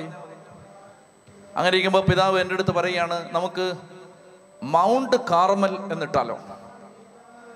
ഞാൻ പറഞ്ഞു എന്നെ വഴക്ക് പറയത്തില്ലെങ്കിൽ ഞാൻ ഒരു കാര്യം പറയാം. എന്താ? ഞാൻ പറഞ്ഞു ഈ പേര് ഞങ്ങൾ ഒരു മൂന്നാൽ കൊല്ലം മുമ്പേ ഇട്ടാന്ന് പറഞ്ഞു. അപ്പൊ എന്നോട് പറഞ്ഞു ഭയങ്കര അത് പറഞ്ഞില്ലല്ലോ എന്ന് പറഞ്ഞു. ഞാൻ പറഞ്ഞു അത് പിതാവ് അത് പൊതുവെ ഔദ്യോഗികമായ ഗ്രൂപ്പ് ഒന്നും അല്ലല്ലോ. ഞങ്ങളിങ്ങനെ പത്ത് പതിനഞ്ച് പേര് പത്തൊമ്പത് പേര് പ്രാർത്ഥിക്കാൻ കൂടുമ്പോൾ അതിനൊരു പേരിരിക്കട്ടെ എന്ന് വിചാരിച്ചിട്ടതാണ്. അതിനല്ലാതെ ഒരു ലെറ്റർ പാഡ് പോലും അടിച്ചിട്ടില്ല. പിന്നെ അതിന്റെ പേരിൽ ഒരു പരസ്യവും ഇല്ല. അതിങ്ങനെ ഞങ്ങൾ കുറച്ച് പേര് പ്രാർത്ഥിക്കാൻ കൂടുമ്പോൾ അതിന്റെ പേര്. അപ്പോൾ പിതാവിന്റെ അടുത്ത് പറയുകയാണ് അതായത് ഈ ഒരു കൂട്ടായ്മയ്ക്ക് നമ്മൾ ഈ ചെയ്യാൻ പോകുന്ന ഒരു സംവിധാനത്തിന് എന്ത് പേരിടണമെന്ന് ഞാൻ ഓർത്തപ്പോഴൊക്കെ എന്റെ മനസ്സിൽ ആവർത്തിച്ച് വന്നുകൊണ്ടിരുന്നത് ഈ പേരാണ്. എന്നിട്ട് എന്റെ അടുത്ത് അദ്ദേഹം പറയുകയാണ് ഇത് കർമ്മല മാതാവിന്റെ കാർമലല്ല ഏലിയായിയുടെ കാർമൽ മലയാണ് ചെത്തി പറഞ്ഞേ ഹാലേ ലുയാ കർമ്മല മാതാവിനോട് പണക്കൊന്നും ഉണ്ടായിട്ടല്ല. പക്ഷേ ആ പേരിന്റെ ഒന്നാമത്തെ അർത്ഥം കർമ്മല മാതാവിന്റെ കാർമലല്ല ഏലിയായിയുടെ കാർമൽ. എന്നിട്ട് അത് എന്റെ അടുത്ത് പറഞ്ഞു സത്യവിശ്വാസം നഷ്ടപ്പെട്ടു പോകുന്ന ഒരു കാലത്ത് ഈ മലമുകളിൽ നിന്നിട്ട് അച്ഛൻ പറയണം യേശു ക്രിസ്തുവാണ് ഏകരക്ഷകൻ. ചെത്തി പറഞ്ഞേ ഹാലേ ലുയാ ഹാലേ ലുയാ അങ്ങനെ ഒരു ആശീർവാദം എന്റെ തലേ കിടപ്പുണ്ട്. ഞങ്ങളുടെ മെത്രാൻ തന്ന ഒരു ആശീർവാദം. എന്ന് വെച്ചാൽ പല വിശ്വാസങ്ങൾക്കിടയിൽ വിഭജിക്കപ്പെട്ടു പോകുന്ന ഒരു ജനത്തോട് ഞങ്ങൾ ആ മലയിൽ നിന്ന് പറഞ്ഞുകൊണ്ടേയിരിക്കുന്നു യേശു ക്രിസ്തുവാണ് ഏകരക്ഷകൻ. ചത്തി പറഞ്ഞേ ഹാലേ ലുയാ എന്റെ പ്രിയപ്പെട്ട മക്കളെ ഞാനതുകൊണ്ട് എന്തിന് ഇത് ഇത്രയും പശ്ചാത്തലം പറഞ്ഞെന്നറിയാമോ? എനിക്ക് ചില കാര്യങ്ങൾ നിങ്ങളോട് എനിക്ക് ചില കാര്യങ്ങൾ നിങ്ങളോട് മുഷിഞ്ഞ് പറയാനുണ്ട്. അതിന്റെ പശ്ചാത്തലമാണ്. ചത്തി പറഞ്ഞേ ഹല്ലേ ലുയാ ഹല്ലേ ലുയാ അപ്പോൾ അതുകൊണ്ട് ഏലിയാ ചോദിച്ചിരി ചോദിച്ച ഈ ചോദ്യം കേരള സഭയോട് നമ്മൾ ചോദിക്കണം. നമ്മൾ എത്ര നാൾ രണ്ട് വഞ്ചിയിൽ കാലുവെക്കും നമ്മൾ എത്ര നാൾ രണ്ട് വഞ്ചിയിൽ കാലുവെക്കും ഒന്നുകിൽ കർത്താവ് അല്ലെങ്കിൽ കർത്താവില്ല. ഇതേ ഉള്ളൂ നമുക്ക്. നമ്മുടെ മുമ്പിൽ രണ്ടേ രണ്ട് ഓപ്ഷനേ ഉള്ളൂ. ഒന്നുകിൽ ഈശോ അല്ലെങ്കിൽ നോ ജീസസ്. ഇതിനിടയിൽ ഒരു മധ്യപാതയില്ല. എന്റെ പ്രിയപ്പെട്ട മക്കളെ ഞാൻ ആരെയും കുറ്റപ്പെടുത്താനോ വിമർശിക്കാനോ വിധി പറയാനോ അല്ല. എനിക്ക് പറയാനുള്ളത് എനിക്ക് കുറ്റപ്പെടുത്താനുള്ളത് മറ്റാരെയുമല്ല നമ്മളെയാണ്. ഞാനും നിങ്ങളും അടങ്ങുന്ന നമ്മുടെ വിശ്വാസ കൂട്ടായ്മകളെയാണ് നമ്മൾ കുറ്റപ്പെടുത്തേണ്ടത്. പുറത്താരെയും നമ്മൾ കുറ്റപ്പെടുത്തണ്ട. വെളിയിൽ ആരെയും നമ്മൾ നിന്ദിക്കണ്ട. വെളിയിൽ ആരെക്കുറിച്ച് നമ്മൾ ഒരു പഴിയും പറയണ്ട. ദൈവം നമ്മളോട് ചോദിക്കുകയാണ് നമ്മൾ എത്ര നാൾ രണ്ട് വഞ്ചിയിൽ കാലുവെക്കും പ്രിയപ്പെട്ട മക്കളെ ഈ ദേശത്ത് നമ്മൾ ഈ രാജ്യത്ത് ഈ ദേശത്ത് ഈ കേരള സംസ്ഥാനത്ത് വിശ്വാസം ജീവിക്കാൻ ഭാഗ്യവും ഭാഗധേയവും വീതിച്ചു കിട്ടിയ നമ്മൾ ആ നമ്മളോട് കർത്താവ് ചോദിക്കുകയാണ് നിങ്ങൾ എത്ര നാൾ രണ്ട് വഞ്ചിയിൽ കാലുവെക്കും ചത്തി പറഞ്ഞേ ലുയാ എന്റെ പ്രിയപ്പെട്ട മക്കളെ ഇന്ന് പകൽ സമയത്ത് ഞാൻ കുറച്ച് സമയത്ത് മയങ്ങിപ്പോയപ്പോ ആ സമയത്ത് എന്റെ ഉള്ളിൽ കർത്താവ് ഒരു വചനം തന്നു. ഉറക്കത്തിൽ ആ വചനം ഞാൻ നിങ്ങളെ കൊണ്ട് എടുപ്പിക്കാൻ പോവാണ് വേഗം എടുക്കാം. പുറപ്പാട് പുസ്തകത്തിൽ മുപ്പത്തിരണ്ടാം അധ്യായം.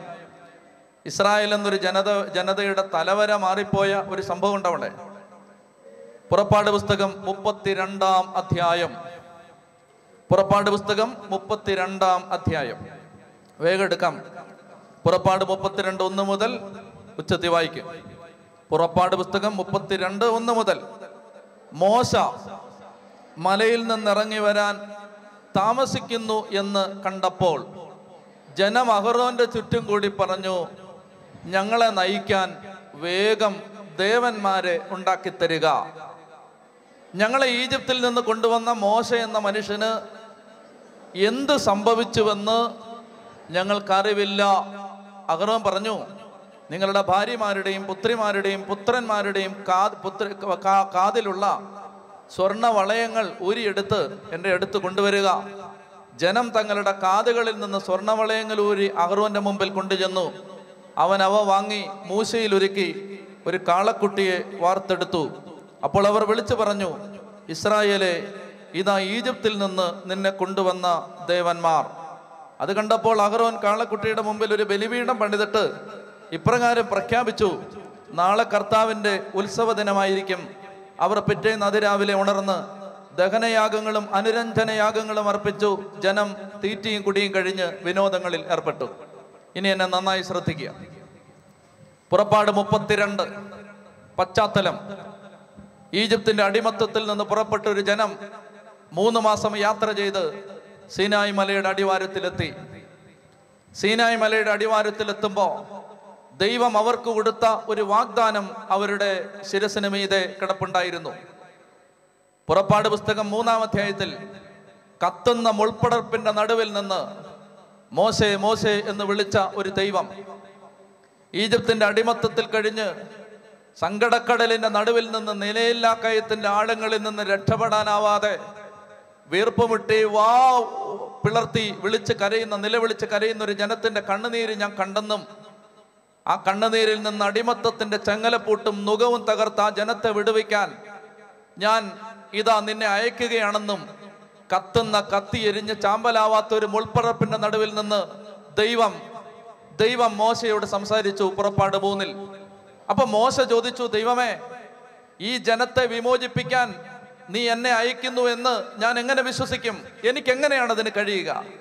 ആ സമയത്ത് ദൈവം മോശയ്ക്ക് കൊടുക്കുന്ന മറുപടി ഇതാണ്. മോശെ ഇതായിരിക്കും അടയാളം. ഇതായിരിക്കും അടയാളം. ഈജിപ്തിൽ നിന്ന് പുറപ്പെട്ട് നിങ്ങൾ കാനാനിലേക്ക് യാത്ര ചെയ്യുന്നതിനിടയിൽ ഈ സീനായി മലയുടെ അടിവാരത്തിൽ ഈ ഹോറബിലെത്തുമ്പോ ഇവിടെ ഈ കത്തുന്ന മുൾപ്പടർപ്പിൽ ഞാൻ നിനക്ക് പ്രത്യക്ഷപ്പെട്ട സ്ഥലത്ത് ഇവിടെ നിങ്ങൾ എന്നെ ആരാധിക്കും. ഇതായിരിക്കും അടയാളം. കിട്ടുന്നുണ്ടോ? ഈജിപ്തിന്റെ അടിപത്തത്തിൽ നിന്ന് നിന്നെ വിമോചകനായിട്ട് ഞാൻ അയക്കുകയാണെന്ന് മോശയോട് ദൈവം പറയുമ്പോൾ മോശ ചോദിക്കുകയാണ് how can I believe this am I worthy to be your servant to deliver your people am I worthy am a unworthy human be human being I an unworthy human being ഇത് മോശ പറയുന്ന സമയത്ത് മോശയോട് പറയുകയാണ് മോശേ ഇതായിരിക്കും അടയാളം.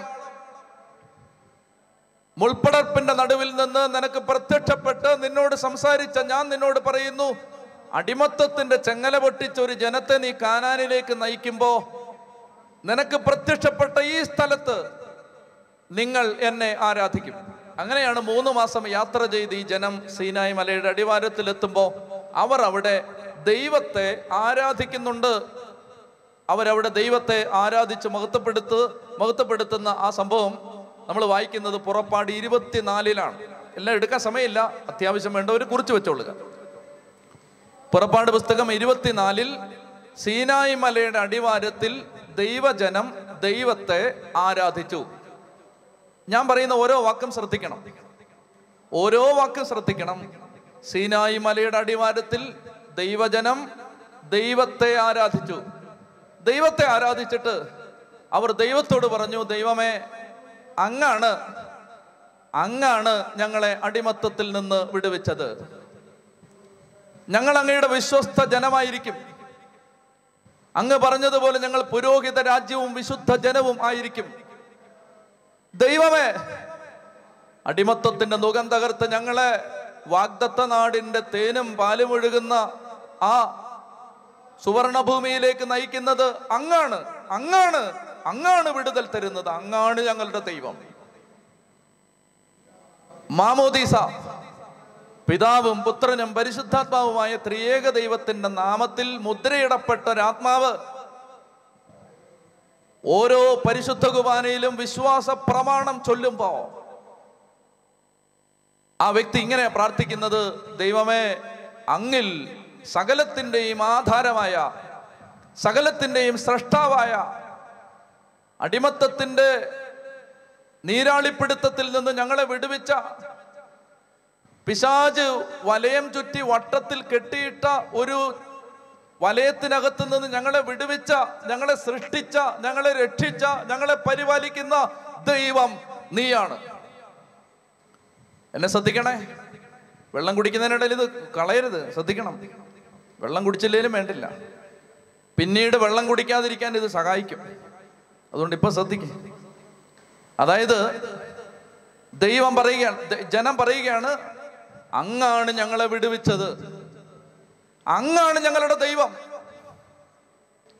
അങ്ങാണ് ഞങ്ങളുടെ രക്ഷകൻ. എന്റെ പൊന്നു മോനെ പൊന്നു മോളെ. വിശുദ്ധ കുർബാനയിൽ വിശ്വാസ പ്രമാണം ചൊല്ലുമ്പോൾ എന്താ നമ്മൾ പറയുന്നേ?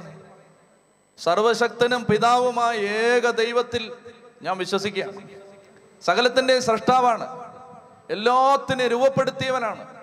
എല്ലാത്തിനെയും പരിപാലിക്കുന്നവനാണ്.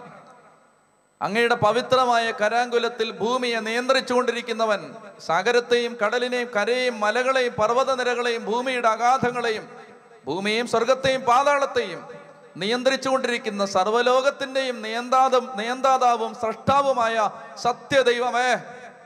ഞാൻ അങ്ങിൽ വിശ്വസിക്കുന്നു. കന്യകാ ജനനത്തിലൂടെ മനുഷ്യാവതാരം ചെയ്ത് മുപ്പത്തിമൂന്ന് കൊല്ലം ഈ ഭൂമിയിൽ ജീവിച്ച് പൊന്തിയോസ് പീലാത്തോസ് ഭരിച്ചുകൊണ്ടിരുന്ന ഒരു കാലത്ത് കൈകളിൽ ആമം വെക്കപ്പെട്ടും കാലുകൾ ചെങ്ങലകളാൽ പൂട്ടപ്പെട്ടും കാരാഗ്രഹത്തിനകത്തേക്ക് അടയ്ക്കപ്പെട്ടും പിറ്റേ ദിവസം പ്രഭാതത്തിൽ ഒരു കുരിശിജ വന്ന് കാൽവേരിയുടെ നെറുകയിലേക്ക് യാത്ര ചെയ്തും ഒടുവിൽ മൂന്നാണികളിൽ തൂങ്ങിക്കിടന്ന് പിടഞ്ഞു മരിച്ചും കല്ലറ ഭേദിച്ച് ഉയർത്തെഴുന്നേറ്റും സ്വർഗാരോഹണം ചെയ്തും വിധിയാളനായി വീണ്ടാ വീണ്ടും വരുമെന്ന വാഗ്ദാനം പറഞ്ഞിട്ടും പോയ നിന്നിൽ നിന്നിലാണ് ഞങ്ങളുടെ ആശ്രയം. സഹായകനായി കൂടെയിരുന്ന് യേശുവിന്റെ സാന്നിധ്യമായി ഹൃദയത്തിലിരുന്ന് ഞങ്ങളെ നയിച്ചുകൊണ്ടിരിക്കുന്ന സ്വർഗീയ കാനാനിൽ എത്തുവോളം പകൽ മേഘസ്തംഭമായും രാത്രി അഗ്നി തൂണായും ഞങ്ങളെ വഴി നടത്തിക്കൊണ്ടിരിക്കുന്ന പരിശുദ്ധാത്മാവ് അങ്ങിലാണ് ഞങ്ങൾ വിശ്വസിക്കുന്നത്. This is faith and we believe in it ഞാനത് വിശ്വസിക്കുകയാണ് നിങ്ങളത് വിശ്വസിക്കുകയാണ്. ഇതാണ് പുറപ്പാട് ഇരുപത്തിനാലിൽ ആ ജനം പറഞ്ഞത് അങ്ങാണ് ഞങ്ങളെ അടിമത്തത്തിൽ നിന്ന് വിടുവിച്ചത്. അങ്ങനെ യാത്ര മുന്നോട്ട് പോകുന്നതിന് മുമ്പ് നാൽപ്പത് ദിവസം മോശ മലമുകളിലേക്ക് കയറിപ്പോയി. മോശയെ കാണാനില്ല.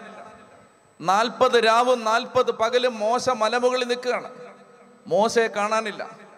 മോശയെ കാണാനില്ലാത്ത സമയത്ത് അഗറോന്റെ അടുത്ത് വന്നിട്ട് ഈ ജനം പറയുകയാണ്. ഈ നന്ദികെട്ട ജനം പറയുകയാണ്. ഈ വിഗ്രഹാരാധകരായ ആ മനസ്സുള്ള ജനം പറയുകയാണ്. ഈ കൃതജ്ഞതയുടെ ആൾരൂപങ്ങൾ പറയുകയാണ്. സകല വഴികളും വന്ന വഴികളും മറന്നുപോയ ഈ നന്ദി കെട്ടവർ. അവർ പറയുകയാണ് എന്റെ ഭാഷ എന്നോട് ക്ഷമിക്കുക. ഇതിനേക്കാൾ മോശമായ ഭാഷയാണ് ഉപയോഗിക്കേണ്ടത്. പ്രതിപക്ഷ ബഹുമാനം കൊണ്ട് ഞാൻ അത്രയും പറഞ്ഞ് നിർത്തുകയാണ്. ഈ നന്ദി കെട്ട ജനം ഈ നന്ദി കെട്ട ജനം ഈ നന്ദി കെട്ട ജനം പറയുകയാണ് ഞങ്ങളെ അടിമത്തത്തിൽ നിന്ന് കൊണ്ടുവന്ന മോശ എവിടറാണ്? ആരവനെ അടിമത്തത്തിൽ നിന്ന് കൊണ്ടുവന്നത്? ആരാ കൊണ്ടുവന്നത്? ദൈവം. നാഴികയ്ക്ക് നാൽപ്പത് വട്ടം അതാ നമ്മൾ പറഞ്ഞുകൊണ്ടിരിക്കുന്നത്. പിതാവ് പുത്രൻ പരിശുദ്ധാത്മാവ് ഞങ്ങൾ വിശ്വസിക്കാം. ഞങ്ങളെ അടിമത്തത്തിൽ നിന്ന് കൊണ്ടുവന്ന ദൈവം എന്ന് പറഞ്ഞവര് അധ്യായം എട്ട് കഴിഞ്ഞപ്പോ തിരുത്തി പറയുകയാണ്. ഞങ്ങളെ കൊണ്ടുവന്ന മോശ എവിടെയെന്ന്? മോശ. മോശ മോശപ്പെട്ട ആളാണോ? മോശ കൊടരുതാത്ത ആളാണോ? അല്ല. മോശ നല്ല ആളാണ്. മോശയെ പോലെ ഒരാൾ ഇസ്രായേലിന്റെ ചരിത്രത്തിൽ നേതൃസ്തംഭമായിട്ട് ഇരുന്നിട്ടില്ല. മോശയെ കുറ്റം പറയുന്നുണ്ട് അഹറോനും മെറിയാമും. സംഖ്യയുടെ പുസ്തകം പന്ത്രണ്ടാം അധ്യായത്തിൽ. മോശയെ കുറ്റം പറയുന്നുണ്ട്. മോശ അത് വിട്ടുകളഞ്ഞു ദൈവം വിട്ടില്ല. അഗറോനോടും മിരിയാമിനോടും മോശയുടെ സഹോദരനോടും സഹോദരിയോടും ദൈവം പറയുകയാണ് മറ്റ് പ്രവാചകന്മാരോട് ഞാൻ ദർശനങ്ങളിലും വെളിപാടുകളിലും സ്വപ്നങ്ങളിലൂടെയുമാണ് സംസാരിച്ചത്. എന്നാൽ എന്റെ ദാസനായ മോശയോട് സ്നേഹിതനോടെന്ന പോലെ മുഖാഭിമുഖമാണടാ ഞാൻ സംസാരിച്ചത്. ആരടാ നിനക്ക് ധൈര്യം തന്നത്? എന്റെ മോശയെ കുറ്റം പറയാൻ? ചെറിയ ആളാ മോശ? ചെറിയ ആളാ മോശ? മോശ ചെറിയ ആളല്ല.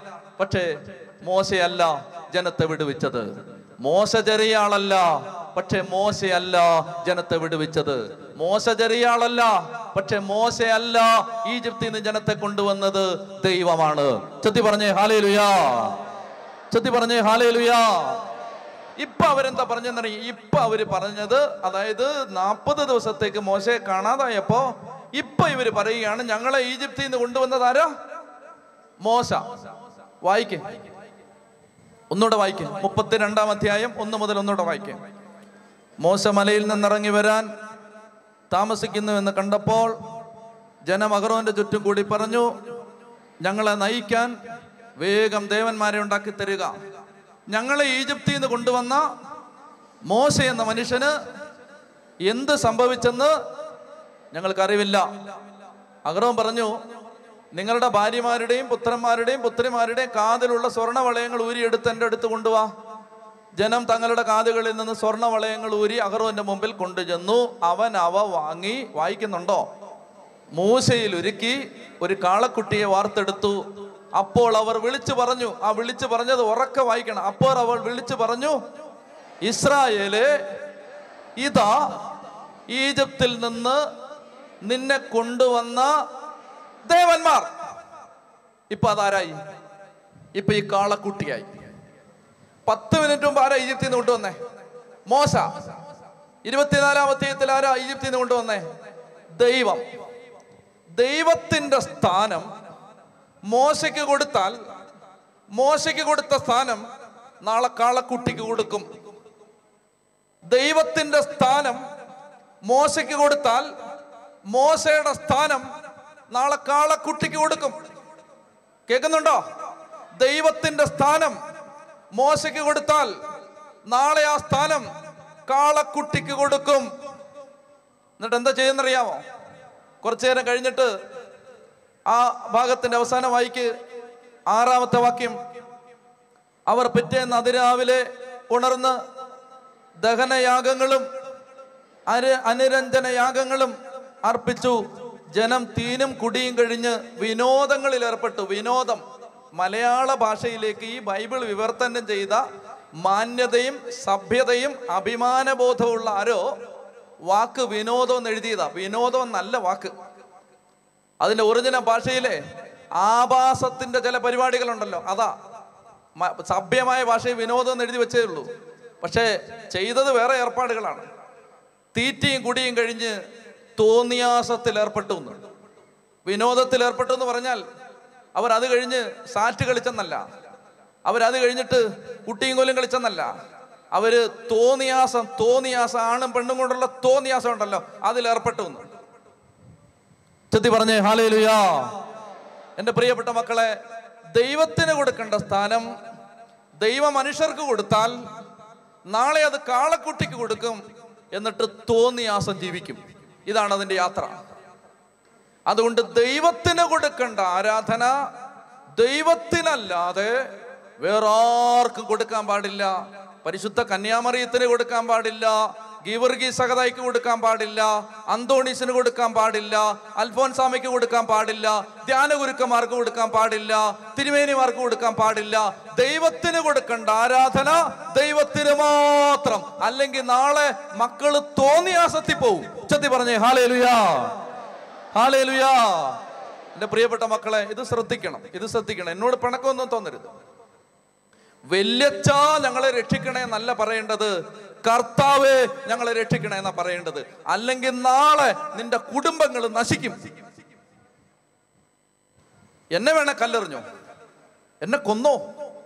ഫേസ്ബുക്കിൽ ആക്ഷേപങ്ങൾ എഴുതിക്കും.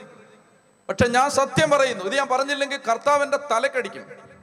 വല്യച്ഛ ഞങ്ങളെ രക്ഷിക്കണേ നല്ല അരുവിത്തറക്കാരാ പറയേണ്ടത്. കർത്താവെ രക്ഷിക്കണേ എന്ന് പറയണം. കർത്താവെ രക്ഷിക്കണേ.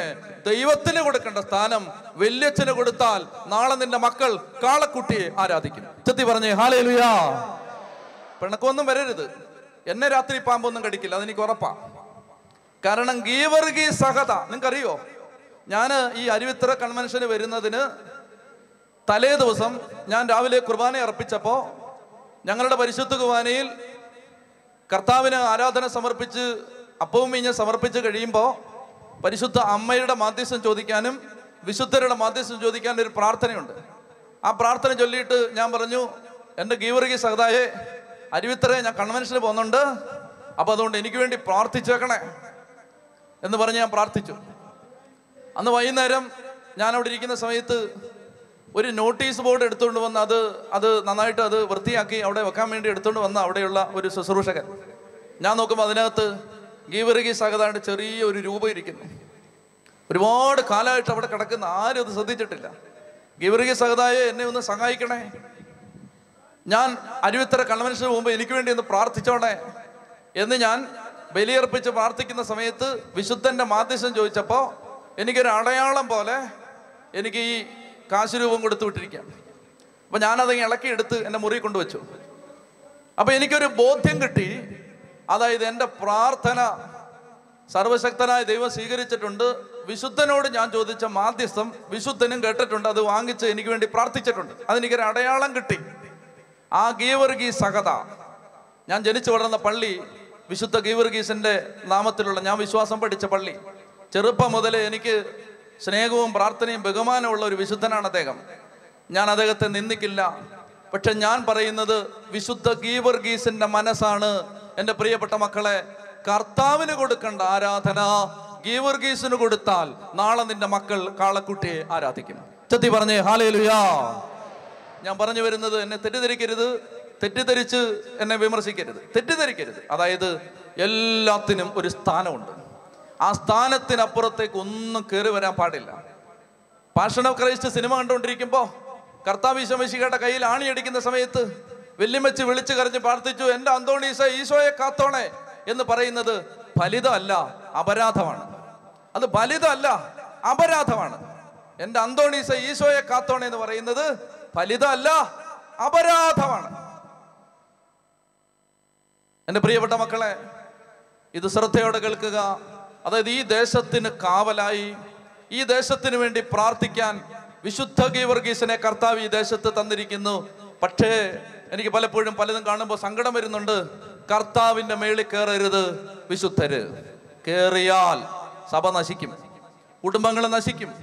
താൽക്കാലിക ലാഭം കിട്ടുമായിരിക്കും. എനിക്ക് അറിഞ്ഞൂടാ കിട്ടുമായിരിക്കും. പക്ഷേ ദൈവത്തിന്റെ കൃപ ഒഴുകി വരില്ല. ഞാൻ ഒരു കാര്യം നിങ്ങളോട് പറയട്ടെ? ഈ ഗീവർഗീ സഹതയുടെ സത്യത്തിൽ എന്താ നമ്മൾ പ്രാർത്ഥിക്കണ്ടേ? അല്ലെ എന്തിനു വേണ്ടിയാ മാധ്യസം വഹിക്കണ്ടേ ഒരു കന്യകയെ ഒരു ഡ്രാഗൺ ഒരു പിശാജ് ഒരു കന്യകയുടെ പരിശുദ്ധിയെ നശിപ്പിക്കാൻ ഒരു പിശാജ് ശ്രമിക്കുമ്പോൾ ആ കന്യകയുടെ ചാരിത്രശുദ്ധി സംരക്ഷിക്കാൻ വാളെടുത്തും കുന്തമെടുത്തും യുദ്ധത്തിനിറങ്ങി അശ്വാരൂഢനെ യാത്ര ചെയ്ത വിശുദ്ധനല്ലേ ഇത്? നിങ്ങളുടെ മക്കൾ വിശുദ്ധരായിട്ട് വളരാൻ ഞങ്ങളുടെ മക്കളുടെ ചാരിത്ര ശുദ്ധി സംരക്ഷിക്കപ്പെടാൻ.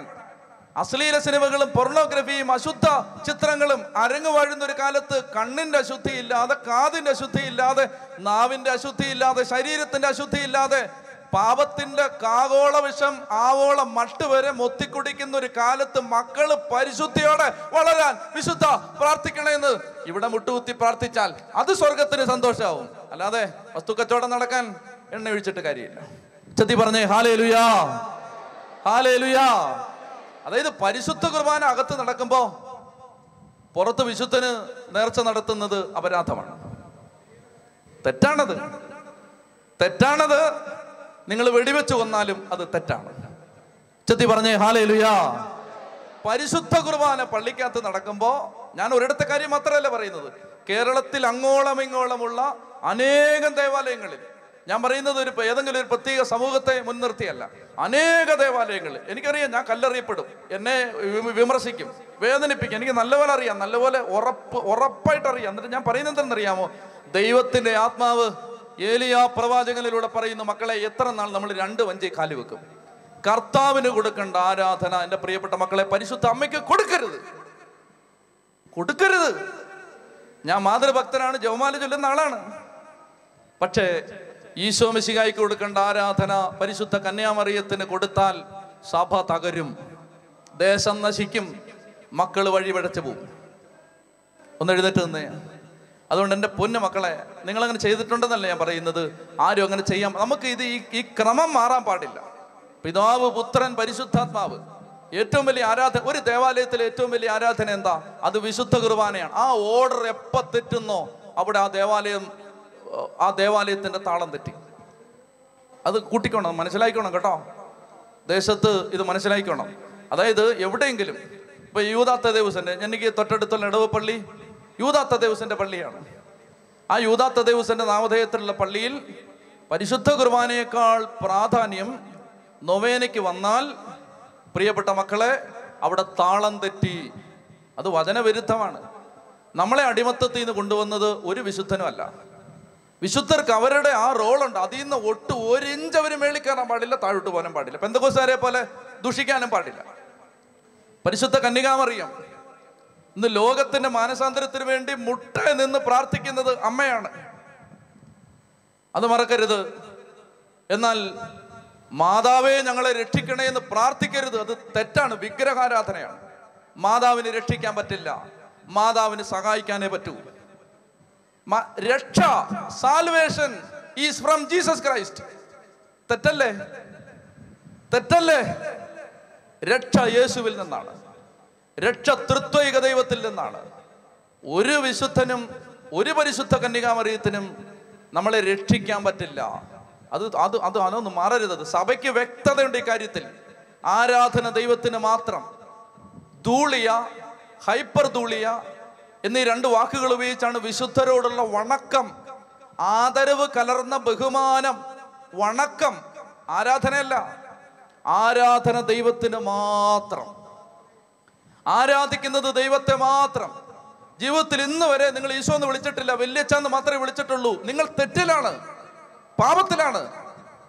നിങ്ങൾ ജീവിതത്തിൽ ഇന്ന് വരെ ഈശോ എന്ന് വിളിച്ചിട്ടില്ല എന്റെ ഈശോ എന്ന് വിളിച്ചിട്ടില്ല വല്യച്ഛാന്ന് വിളിച്ചിട്ടുള്ളെങ്കിൽ എന്റെ മക്കളെ നിങ്ങൾ തെറ്റിലാണ് കേട്ടോ. നിങ്ങൾ വലിയ തെറ്റിലാണ്. നാളെ മുതൽ ഗീവർ അതേ കാണുമ്പോൾ കാർക്ക് ചൂപ്പരുത് മനസ്സിലായോ? പറയുന്ന ശരിയായ അർത്ഥത്തിൽ എടുക്കണം. വിശുദ്ധ ഗീവർ അതുകൊണ്ടാണ് വിശുദ്ധരുടെ ലുത്തിനെ പാടി ഇത് തുടങ്ങിയത്. വിശുദ്ധർക്ക് പ്രാധാന്യമുണ്ട്. വിശുദ്ധരാണ് നമ്മളെ സഹായിച്ചുകൊണ്ടിരിക്കുന്നത് എന്തിനാ വിശുദ്ധരെ സഹായിക്കുന്നതെന്ന് അറിയാം എന്റെ പ്രിയപ്പെട്ട മക്കളെ? പാപം ചെയ്യാതിരിക്കാൻ. അത് പ്രാർത്ഥിച്ചിട്ടുണ്ട് ആരെങ്കിലും? സ്വയം ഭോഗത്തിൽ നിന്ന് രക്ഷപ്പെടാൻ. വിശുദ്ധ ഗീവർഗീസെ ഒന്ന് പ്രാർത്ഥിക്കുവോ? അങ്ങനെ ചോദിക്ക്. ഈ മദ്യപാനത്തിൽ നിന്ന് എനിക്കൊന്ന് രക്ഷപ്പെടണം. വിശുദ്ധ ഗീവർഗീസേ വിശുദ്ധ അന്തോണീസെ എന്നെ ഒന്ന് സഹായിക്ക്. ഈ കച്ചവടത്തിന് വേണ്ടി മാത്രം വിശുദ്ധരെ സമീപിക്കാതെ. ആരാധന എന്റെ എന്റെ എന്റെ സങ്കടം ഞാൻ പറയട്ടെ. പരിശുദ്ധ കുർബാന ഒരു ആരാധനാലയത്തിൽ നടക്കുമ്പോൾ ഒരു വിശുദ്ധനും നേർച്ച ഇടാൻ വേറെടുത്തേക്കും പോകരുത്. വിശുദ്ധ കുർബാനയ്ക്ക് വന്നോണം ആ സമയത്ത് സകല നേർച്ചകൾ അവസാനിപ്പിച്ചോണം എന്റെ പ്രിയപ്പെട്ട മക്കളെ നമുക്ക് കർത്താവിന്റെ സന്നിധിയിൽ ഞാൻ കാടടച്ച് ആക്ഷേപിക്കുകയാണെന്ന് നിങ്ങൾ വിചാരിക്കരുത്. എന്നോട് പിണങ്ങുകയും ചെയ്യരുത്. മറിച്ച് ആരെങ്കിലും അങ്ങനെ ചെയ്യുന്നുണ്ടെങ്കിൽ അത് ചിലപ്പോൾ അമ്പത് പേരായിരിക്കും അവരിത് തിരുത്തട്ടെ. എല്ലാവരും തെറ്റ് ചെയ്യുന്നു എല്ലാവർക്കും ലക്ഷ്യം തെറ്റ് ചെയ്യുന്നു ഒന്നും ഇതിന് അർത്ഥമില്ല. പക്ഷേ ആരെങ്കിലും അങ്ങനെ ചെയ്യുന്നുണ്ടെങ്കിൽ എന്റെ പൊന്നുമക്കളെ ഇത് ഞാൻ ഒരു സ്ഥലത്ത് മാത്രമല്ല പറയുന്നത്. ഇടത്തുവായി പോയപ്പോൾ അവരോട് ഇത് പറഞ്ഞു. ഇടപ്പള്ളി പോയപ്പോൾ അവരോട് ഇത് പറഞ്ഞു. എന്ന് പറഞ്ഞാൽ എല്ലായിടത്തും പറയും. എവിടെ ചെന്നാലും അവിടെ കർത്താവ് ഈശോമിശികായക്ക മേളിൽ ആരും വരാതിരിക്കണമെന്ന് ഞാൻ പറയും. അതിന്റെ ഉത്തരവാദിത്തമാണെന്നാണ് എന്റെ വിചാരം. അതുകൊണ്ട് ഈ സമയത്ത് നമുക്ക് കർത്താവിന്റെ സന്നിധി പ്രാർത്ഥിക്കും. ദൈവമേ അങ്ങേക്ക് കൊടുക്കേണ്ട ആരാധന ഞങ്ങൾ വേറെ ആർക്കെങ്കിലും കൊടുത്തിട്ടുണ്ടെങ്കിൽ. ധ്യാനഗുരുക്കന്മാരെ ആരാധിക്കുന്നവരുണ്ട്. പ്രാർത്ഥനക്കാരെ ആരാധിക്കുന്നവരുണ്ട്. ശുശ്രൂഷ ചെയ്യുന്നവരെ ആരാധിക്കുന്നവരുണ്ട്. വിഗ്രഹാരാധനയാണത്. വിഗ്രഹാരാധന. ഒരച്ഛൻ പറയുന്നതല്ല നിങ്ങളുടെ പ്രമാണം. ദൈവം പറഞ്ഞാണ്. ഒരു ധ്യാനകേന്ദ്രം അല്ല നിങ്ങളുടെ വിഗ്രഹം ദൈവമാണ്. ഒരു വിശുദ്ധനും അല്ല നമ്മുടെ രക്ഷ നേടിത്തരുന്നത് ദൈവമാണ്. എന്നാൽ ഈ വിശുദ്ധരെ നമ്മൾ സഹായത്തിന് വേണ്ടി വിളിക്കുന്നു. എന്തിനാണ്? ഈ ഈ പോരാട്ടം. അതിനാൽ നമ്മെ വിഷമിപ്പിക്കുന്ന ഭാരവും പാപവും നമുക്ക് അങ്ങനല്ലേ പറഞ്ഞേ? ഭാരവും പാപവും നമുക്ക് പാപം ചെയ്യാതിരിക്കാൻ വിശുദ്ധി കിട്ടാൻ വിശുദ്ധ ജീവിതം നയിച്ച വിശുദ്ധര് മുമ്പിൽ നിൽക്കുകയാണ്. കൊച്ചു ദ്രേശ പുണ്യമതി എനിക്ക് വേണ്ടി പ്രാർത്ഥിക്ക്. എന്റെ വിശുദ്ധ എനിക്ക് പാപം ചെയ്യാതിരിക്കാൻ. എനിക്ക് പ്രാർത്ഥിക്കാൻ പറ്റുന്നില്ല എനിക്ക് പ്രാർത്ഥന വരം കിട്ടാൻ പ്രാർത്ഥിക്ക്. വിശുദ്ധരെ ദൈവം തന്നിരിക്കുന്നത് നമ്മുടെ വസ്തു കച്ചവടം നടത്താനല്ല. മറിച്ച് വിശുദ്ധ ജീവിതം നയിക്കാനാണ്. അത് മാറിപ്പോരുത് തെറ്റ് തെറ്റിദ്ധരിക്കരുത്. വിശുദ്ധരെ ദൈവം തന്നിരിക്കുന്നത് വിശുദ്ധ ജീവിതം നയിക്കാനുള്ള സഹായമായിട്ടാണ്. ചെത്തി പറഞ്ഞേ ഹാലേ ലുയാ അതരം തുറന്ന് ഹാലേ ലുയാ കണ്ണുകളടച്ച് രണ്ട് കരങ്ങളെ സ്വർഗത്തിലേക്ക് ഉയർത്തി. പ്രിയപ്പെട്ട മക്കളെ ഈ സമയത്ത് വിശുദ്ധ ഗൈവർഗീസിനോട് ചേർന്ന് വിശുദ്ധ അൽഫോൻസാമയോട് ചേർന്ന് ചാവറയച്ചനോട് ചേർന്ന് നമുക്ക് ദൈവത്തെ ആരാധിക്കാം. ദൈവത്തെ ആരാധിക്കാം. ദൈവമേ ഞങ്ങൾ മാമോദീസ മുങ്ങിയത് പിതാവും പുത്രനും പരിശുദ്ധാത്മാവുമായി ത്രിയേക ദൈവത്തിന്റെ നാമത്തിലാണ്. ഞങ്ങളുടെ മേ കിടക്കുന്ന മുദ്ര ദൈവത്തിന്റെ മുദ്രയാണ്. ഞങ്ങളെ ഈജിപ്തിലെ അടിമത്തത്തിൽ നിന്ന് കൊണ്ടുവന്നത് ഞങ്ങളുടെ ദൈവമായ കർത്താവാണ്. പ്രിയപ്പെട്ട മക്കളെ ഇത് ഈ ദേശം അംഗീകരിക്കട്ടെ. എല്ലാ വിശുദ്ധരോടുള്ള എല്ലാ ബഹുമാനത്തോടെയും നമുക്ക് ആ വിശുദ്ധരോട് ഞാൻ ഒരു കാര്യം ഉറപ്പ് പറയാം കയ്യാത്തട്ടെ ഞാൻ ഒരു കാര്യം ഉറപ്പ് പറയട്ടെ. വിശുദ്ധ ഗീവർഗീസത ഇവിടെ ഇറങ്ങി എന്റെ അടുത്ത് നിൽപ്പുണ്ടെന്ന് ഞാൻ പൂർണമായിട്ട് വിശ്വസിക്കുന്നുണ്ട്. നിങ്ങൾക്ക് വിശ്വാസം ഉണ്ടോ എന്ന് എനിക്കറിയാം. ഞാൻ വിശ്വസിക്കുന്നുണ്ട്. എന്റെ അടുത്ത് വിശുദ്ധ ഗീവർഗീസ് നിന്നിട്ടാണ് ആ എന്നെ കുത്തി കുത്തി ഇത് പറയിപ്പിക്കുന്നതാണ്. കാരണം ഒരു വിശുദ്ധനും ദൈവത്തിന് കൊടുക്കേണ്ട മഹത്വം എടുക്കാൻ ആഗ്രഹിക്കില്ല. ഉച്ചത്തി പറഞ്ഞേ ഹാലേ ലുയാ ഹാലേ ലുയാ രണ്ട് കരങ്ങൾ സ്വർഗത്തിലേക്ക് ഉയർത്തി ഈ ദേശത്തിന്റെ സഹായമായിട്ട് വിശുദ്ധ ഗീവർഗീസിനെ തന്ന കർത്താവിനെ ഹൃദയം നൊന്ന് ആരാധിച്ചേ. ഹാലേ ലുയാ ഹാലേ ലുയാ ഹാലേ ലുയാ ശക്തിയോടെ സ്തുതിക്കട്ടെ അതിനെ തുറന്ന് സ്തുതിക്കട്ടെ. ഹാലലുയ ഹാലലുയ ഹാലലുയ ഹാലലുയ. ഹാലലുയ ഹാലലുയ ഹാലലുയ ഹാലലുയ ഹാലലുയ. ഹാലലുയ ഹാലലുയ ഹാലലുയ ഹാലലുയ ഹാലലുയ ഹാലലുയ അതിനെ തുറന്ന് ഒരു പത്തിരുപത് പേര് നമ്മുടെ സ്വരം കേൾക്കട്ടെ. ദൈവമേ അങ്ങേ ആരാധിക്കുന്നു. ദൈവമേ അങ്ങേ സ്തുതിക്കുന്നു. ദൈവമേ അങ്ങേക്ക് നന്ദി പറയുന്നു. ദൈവമേ അങ്ങേ മഹത്വപ്പെടുത്തുന്നു. പാപത്തിന്റെ അടിമത്തത്തിൽ നിന്ന് വിടുവിച്ച രക്ഷകനായ യേശുവെ അങ്ങേ ഞങ്ങൾ ആരാധിക്കുന്നു. ആകാശത്തിന് കീഴിൽ മനുഷ്യരുടെ ഇടയിൽ രക്ഷയ്ക്ക് വേണ്ടി യേശുവിന്റെ നാമമല്ലാതെ മറ്റൊരു നാമവും നൽകപ്പെട്ടിട്ടില്ല. രക്ഷയ്ക്ക് വേണ്ടി നൽകപ്പെട്ട ഏകനാമം യേശുവിന്റെ നാമമാണ്. ഞങ്ങളെ രക്ഷിച്ചത് യേശുവാണ്. ഞങ്ങൾക്ക് വേണ്ടി കുരിശിൽ പിടഞ്ഞു മരിച്ചത് കർത്താവ് അങ്ങാണ്. പാടുപീടകൾ ഏറ്റുവാങ്ങിയത് ആണിയടിക്കപ്പെട്ടത് ദൈവമേ അങ്ങാണ്. അങ്ങ് ഞങ്ങൾക്ക് കൃപയും ജീവിതവും തരാൻ കുരിശിലേറി അങ്ങാണ് ഞങ്ങൾക്ക് വേണ്ടി മരിച്ചത്.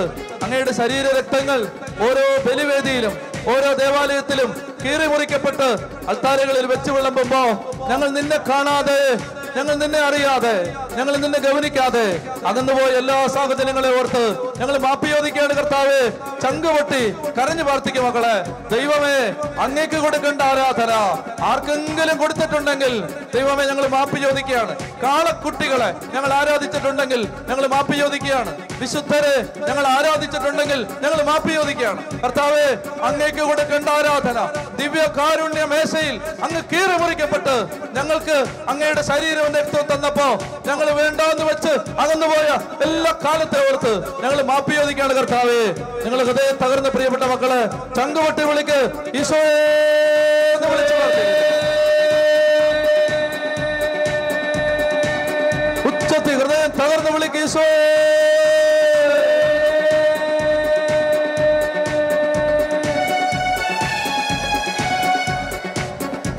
ശക്തിയോടെ സ്തുതിച്ച് അതിനെ തുറന്ന് സ്തുതിക്കട്ടെ.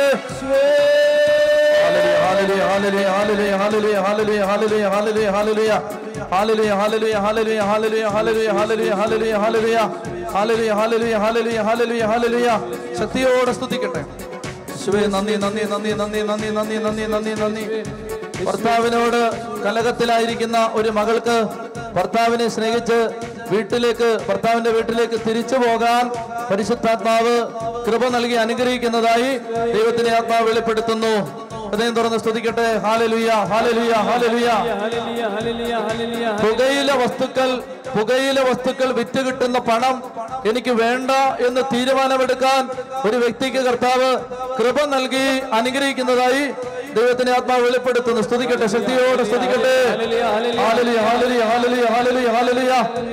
പതിനഞ്ച് കൊല്ലമായി വാടകയ്ക്ക് താമസിക്കുന്ന ഒരു കുടുംബത്തിന് സ്വന്തമായി ഭവനം നൽകി കർത്താവ് അനുഗ്രഹിക്കുന്നതായി ദൈവത്തിന്റെ ആത്മാവ് വെളിപ്പെടുത്തുന്നു. ശക്തിയോടെ സ്തുതിക്കട്ടെ.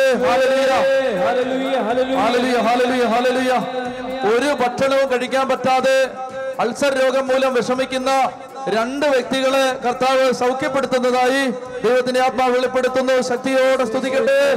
ഹാലലുയ ഹാലലുയ ഹാലലുയ ഹാലലുയ ഹാലലുയ ഹാലലുയ ഉദരത്തിലെ ഫ്ലൂയിഡുമായി ബന്ധപ്പെട്ട ഗർഭപാത്രത്തിലെ ഫ്ലൂയിഡുമായി ബന്ധപ്പെട്ട ഒരു സാഹചര്യത്തിൽ കുഞ്ഞിനെ നഷ്ടപ്പെടുമോ എന്ന് ഭയപ്പെട്ടിരിക്കുന്ന ഒരു സഹോദരി അടുത്ത സ്കാനിങ്ങിൽ ഡോക്ടേഴ്സ് യാതൊരു കുഴപ്പവുമില്ലെന്ന് പറഞ്ഞയക്കുമെന്ന് വാഗ്ദാനം നൽകി കർത്താവ് അനുഗ്രഹിക്കുന്നതായി വെളിപ്പെടുത്തുന്നു. സ്തുതിക്കട്ടെ. ഹാലലുയ ആരാധന ആരാധന ആരാധന. സ്തുതിക്കുന്നു അങ്ങേ ആരാധിക്കുന്നു ആരാധിക്കുന്നു. അങ്ങേ ആരാധിക്കുന്നു അങ്ങേ ആരാധിക്കുന്നു അങ്ങേ ആരാധിക്കുന്നു.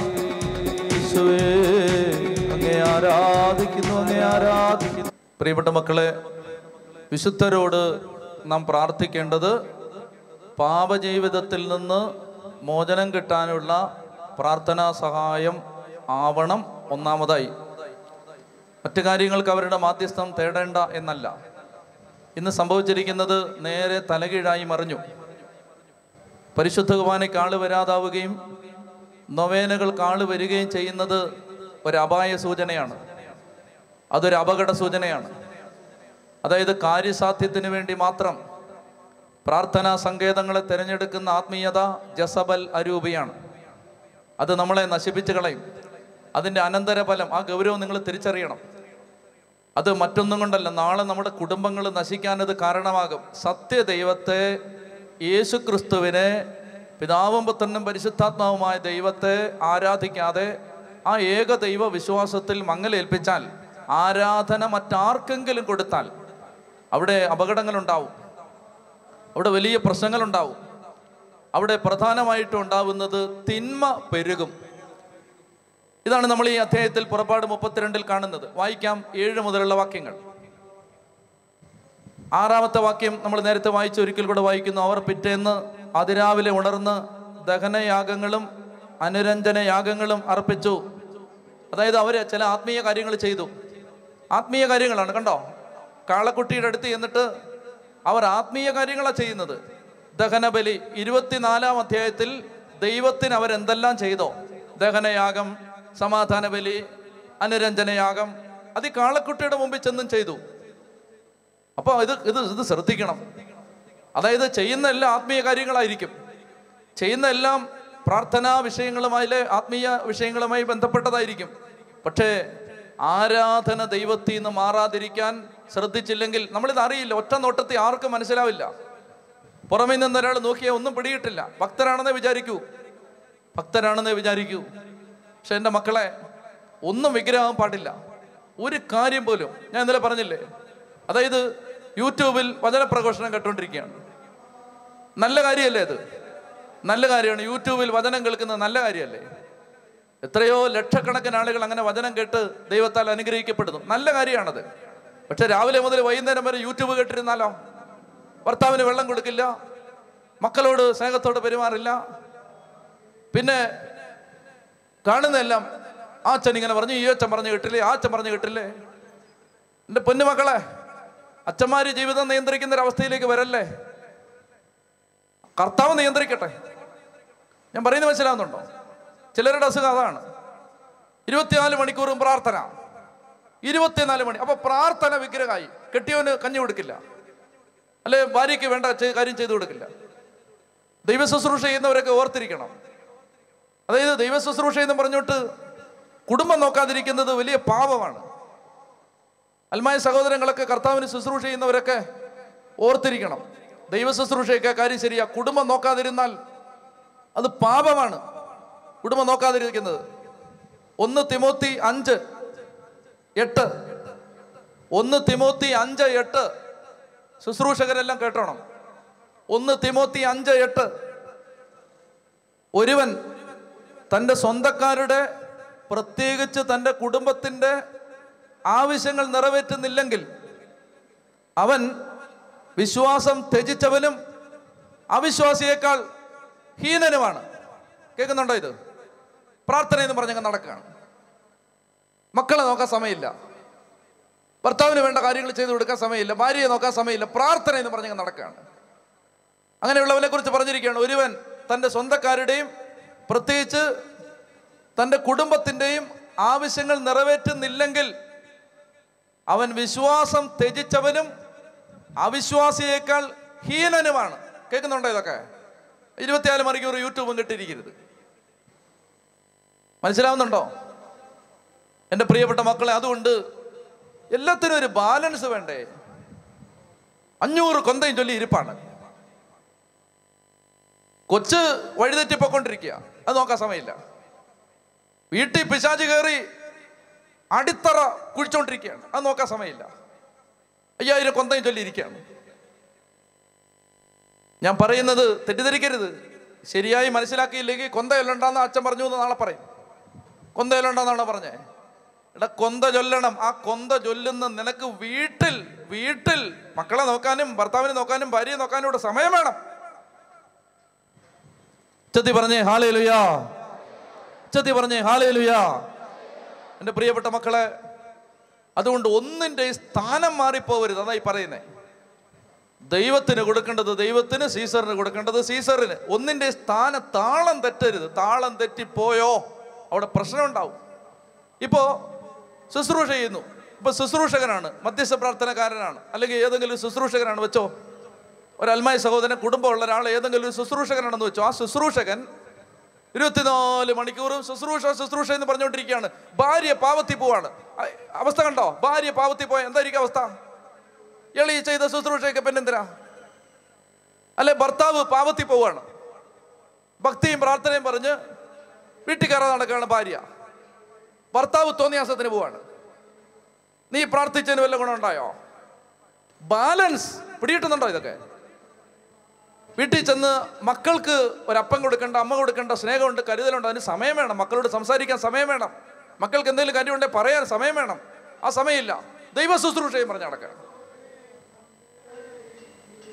ഉച്ചത്തി പറഞ്ഞേ ഹാലേ ലുയാ ഹാലേ ലുയാ തെറ്റിദ്ധരിക്കരുത്. ഇതെല്ലാം അപകടം നിറഞ്ഞ പ്രസ്താവനകളാണ്. ഇനി നാളെ പറയും അങ്ങേര് പറഞ്ഞു ഇനി ആര് അൽമായ ശുശ്രൂഷകർ ഇറങ്ങണ്ടെന്ന് പറഞ്ഞു എല്ലാം കുടുംബം നോക്കി. അങ്ങനെ ഞാൻ പറഞ്ഞോ?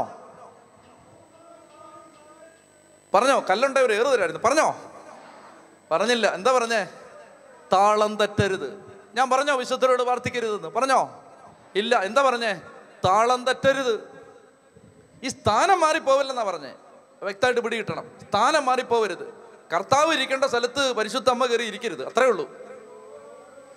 ചെത്തി പറഞ്ഞേ ഹല്ലേ ലുയാ അങ്ങനെ ഈ ജനം മുഴുവൻ ഈ ആരാധന പ്രാർത്ഥനയെല്ലാം നടത്തി അനുരഞ്ജനയാഗം സമാധാനയാഗം എല്ലാം നടത്തി തീറ്റയും കുടിയും കഴിഞ്ഞ് വിനോദം. വിനോദം എന്താന്ന് ഞാൻ പറഞ്ഞല്ലോ? തോന്നിയാസങ്ങളിൽ ഏർപ്പെട്ടു. ഏഴാമത്തെ വാക്യം ഉറക്കെ വായിച്ചേ. കർത്താവ് മോശയോട് അരളി ചെയ്തു ഉടനെ താഴേക്ക് ചെല്ലുക. നീ ഈജിപ്തിൽ നിന്ന് കൂട്ടിക്കൊണ്ടു വന്ന നിന്റെ ജനം തങ്ങളെ തന്നെ ദുഷിപ്പിച്ചിരിക്കുന്നു. ഞാൻ നിർദ്ദേശിച്ച മാർഗത്തിൽ നിന്ന് അവർ പെട്ടെന്ന് വ്യതിചലിച്ചിരിക്കുന്നു. അവർ കാളക്കുട്ടിയെ വാർത്തെടുത്ത് അതിനെ ആരാധിക്കുകയും അതിനെ ബലിയർപ്പിക്കുകയും ചെയ്തിരിക്കുന്നു. ഇസ്രായേലെ നിന്നെ ഈജിപ്തിൽ നിന്ന് കൊണ്ടുവന്ന ദേവന്മാർ ഇതാ എന്ന് അവർ പറഞ്ഞിരിക്കുന്നു. കണ്ടോ? ദൈവത്തിന് ഇത് മനസ്സിലായി. ദൈവം പറയുകയാണെടാ കണ്ടോ? അവർ ആദ്യം പറഞ്ഞു നീ നീ നീ കൊണ്ടുവന്നാന്ന് പറഞ്ഞു. പിന്നെ അവർ പറയണം ഇസ്രായേലെ ഇതാ നിന്നെ ഈജിപ്തിൽ നിന്ന് കൊണ്ടുവന്ന ദേവന്മാരെന്ന് പറഞ്ഞ് കാളക്കുട്ടികളെ ഉണ്ടാക്കി അതിന് മുമ്പിൽ തോന്നിയാസം കാണിച്ചുകൊണ്ടിരിക്കുകയാണ് എന്റെ പ്രിയപ്പെട്ട മക്കളെ കർത്താവിന്റെ ക്രോധത്തിന്റെ അഗ്നി താണിറങ്ങി വരികയാണ്. അപ്പോ ഇരുപത്തി അഞ്ചാമത്തെ വാക്യം വായിച്ചേ. ഇരുപത്തി അഞ്ചാമത്തെ വാക്യം. ജനത്തിന്റെ അഴിഞ്ഞാട്ടം മോശ കണ്ടു. ഇതാണ് അതിന്റെ ഇതിന്റെ ഒടുവി സ- അതായത് ദൈവാരാധനയുടെ താളം തെറ്റിയാൽ അതായത് കാര്യം കാണാൻ വേണ്ടി ഞാൻ ഓരോ കാര്യങ്ങൾ ചെയ്തുകൊണ്ടിരിക്കുകയാണ്. കാര്യങ്ങൾ നടക്കാൻ വേണ്ടി. നിങ്ങൾ ആലോചിച്ച് ചോദിക്കൂ അതായത് കാര്യങ്ങൾ നടക്കും. ഇപ്പോൾ മനുഷ്യർ കൺവെൻഷന് പോകുന്നത് തന്നെ എങ്ങനാ? ഞാൻ നിങ്ങളെ വിധി പറയുന്നല്ല അതായത് ഒരു ഭൂരിപക്ഷം മനുഷ്യരും കൺവെൻഷന് പോകുന്നത് അല്ലെങ്കിൽ പ്രാർത്ഥനകൾക്ക് പോകുന്നത് എന്ത് എന്തിനു വേണ്ടിയിട്ടാണ്? അതായത് നമ്മുടെ കാര്യങ്ങൾ എങ്ങനെയും നടക്കണം. എല്ലാവരും ഞാൻ വിധി പറഞ്ഞ് ഞാൻ ആക്ഷേപിക്കുകയല്ല. എന്റെ പ്രിയപ്പെട്ട മക്കളെ അത് നല്ലതാണ്. അതേ സമയത്ത് ആ മനുഷ്യർ ആഗ്രഹിക്കണം ഈ കൺവെൻഷന് പോകുമ്പോൾ കാര്യങ്ങൾ നടക്കണം നല്ല കാര്യം. അതുപോലെ തന്നെ എനിക്കൊരു മാറ്റം വരണം. അങ്ങനെ ആരും ശ്രദ്ധിക്കുന്നില്ലല്ലോ. കൺവെൻഷനുകളായ കൺവെൻഷനുകൾ നടക്കുന്നല്ലാതെ അങ്ങനെ ആരും ശ്രദ്ധിക്കുന്നില്ലല്ലോ. അതെന്റെ പ്രിയപ്പെട്ട മക്കളെ ശ്രദ്ധിക്കണം. നമുക്ക് നമ്മുടെ സ്വഭാവത്തിൽ മാറ്റം വരണം. ഇല്ലെങ്കിൽ അത് ജസബൽ അരൂപിയായിട്ട് മാറും. ഇപ്പം എന്താ സംഭവിച്ചേ? കാളക്കുട്ടി ആരാധിച്ചിട്ട് തോന്നിയാസത്തിൽ ഏർപ്പെട്ടുകൊണ്ടിരിക്കുകയാണ്. അപ്പോ സ്വയം ലജ്ജിതരാകത്തക്ക വിധം. ശത്രുക്കളുടെ ഇടയിൽ സ്വയം ലജ്ജിതരാകത്തക്ക വിധം അവർ അഴിഞ്ഞാടുകയായിരുന്നു അഴിഞ്ഞാടുകയായിരുന്നു. ഇതാ സംഭവിക്കാൻ പോണത്. നാളെ മറ്റ് ജനതകളുടെ മുമ്പിൽ നിന്റെ കുടുംബം നാണം കിടത്തക്ക വിധം അഴിഞ്ഞാട്ടം നടക്കും വീട്ടിൽ. ഈ ആരാധനയിൽ താളം തെറ്റിയാൽ അതുകൊണ്ട് എന്റെ പൊന്നു മക്കളെ പരിശുദ്ധ കുർബാനയ്ക്ക് മേളിൽ ഒന്നും വരല്ലേ? കാൽ പിടിച്ച് അപേക്ഷിക്കാൻ ഞാൻ. കാൽ മുത്താം. നിങ്ങളുടെ കാൽ കഴുകി വെള്ളം കുടിക്കാം. എന്റെ ചങ്കി വേദനയുള്ളതുകൊണ്ട് ഞാൻ പറയുകയാണ്. വേദനയുള്ളതുകൊണ്ട് ഞാൻ പറയുകയാണ്. പരിശുദ്ധ കുർബാനയുടെ മേളിൽ ഒന്നും വരല്ലേ? ഒന്നും വരല്ലേ? വന്നാൽ നാളെ അഴിഞ്ഞാട്ടം ഉണ്ടാവും. ചതി പറഞ്ഞേ ഹല്ലേ ലുയാ അപ്പൊ ഇത് നമ്മൾ റോമാലേഖനത്തിൽ എടുത്തേ വേഗം. റോമാലേഖനം ഒന്നാം അധ്യായത്തിൽ പൗലോസ്ലിക വ്യക്തമായിട്ട് ഇത് പറയുന്നുണ്ട്. റോമാലേഖനം ഒന്നാം അധ്യായം പതിനെട്ട് മുതലുള്ള വാക്യങ്ങൾ. റോമാലേഖനം ഒന്നാം അധ്യായം പതിനെട്ട് മുതലുള്ള വാക്യങ്ങൾ. വായിച്ചേ. മനുഷ്യരുടെ സകല ദുഷ്ടതയ്ക്കും അനീതിക്കും എതിരായി ഉറക്കെ വായിക്ക്.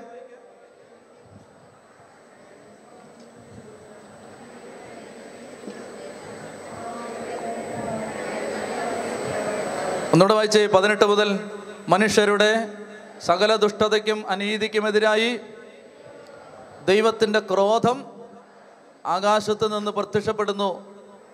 അവർ തങ്ങളുടെ അനീതിയിൽ സത്യത്തെ തളച്ചിടുന്നു. ദൈവത്തെക്കുറിച്ച് അറിയാൻ കഴിയുന്നതൊക്കെ അവർക്ക് വ്യക്തമായി അറിയാം. ദൈവം അവയെല്ലാം അവർക്ക് വെളിപ്പെടുത്തിയിട്ടുണ്ട്. ലോക സൃഷ്ടി മുതൽ ദൈവത്തിന്റെ അദൃശ് അദൃശ്യ പ്രകൃതി അതായത് അവിടുത്തെ അനന്തശക്തിയും ദൈവത്വവും സൃഷ്ടവസ്തുക്കളിലൂടെ സ്പഷ്ടമായി അറിഞ്ഞിട്ടുണ്ട്.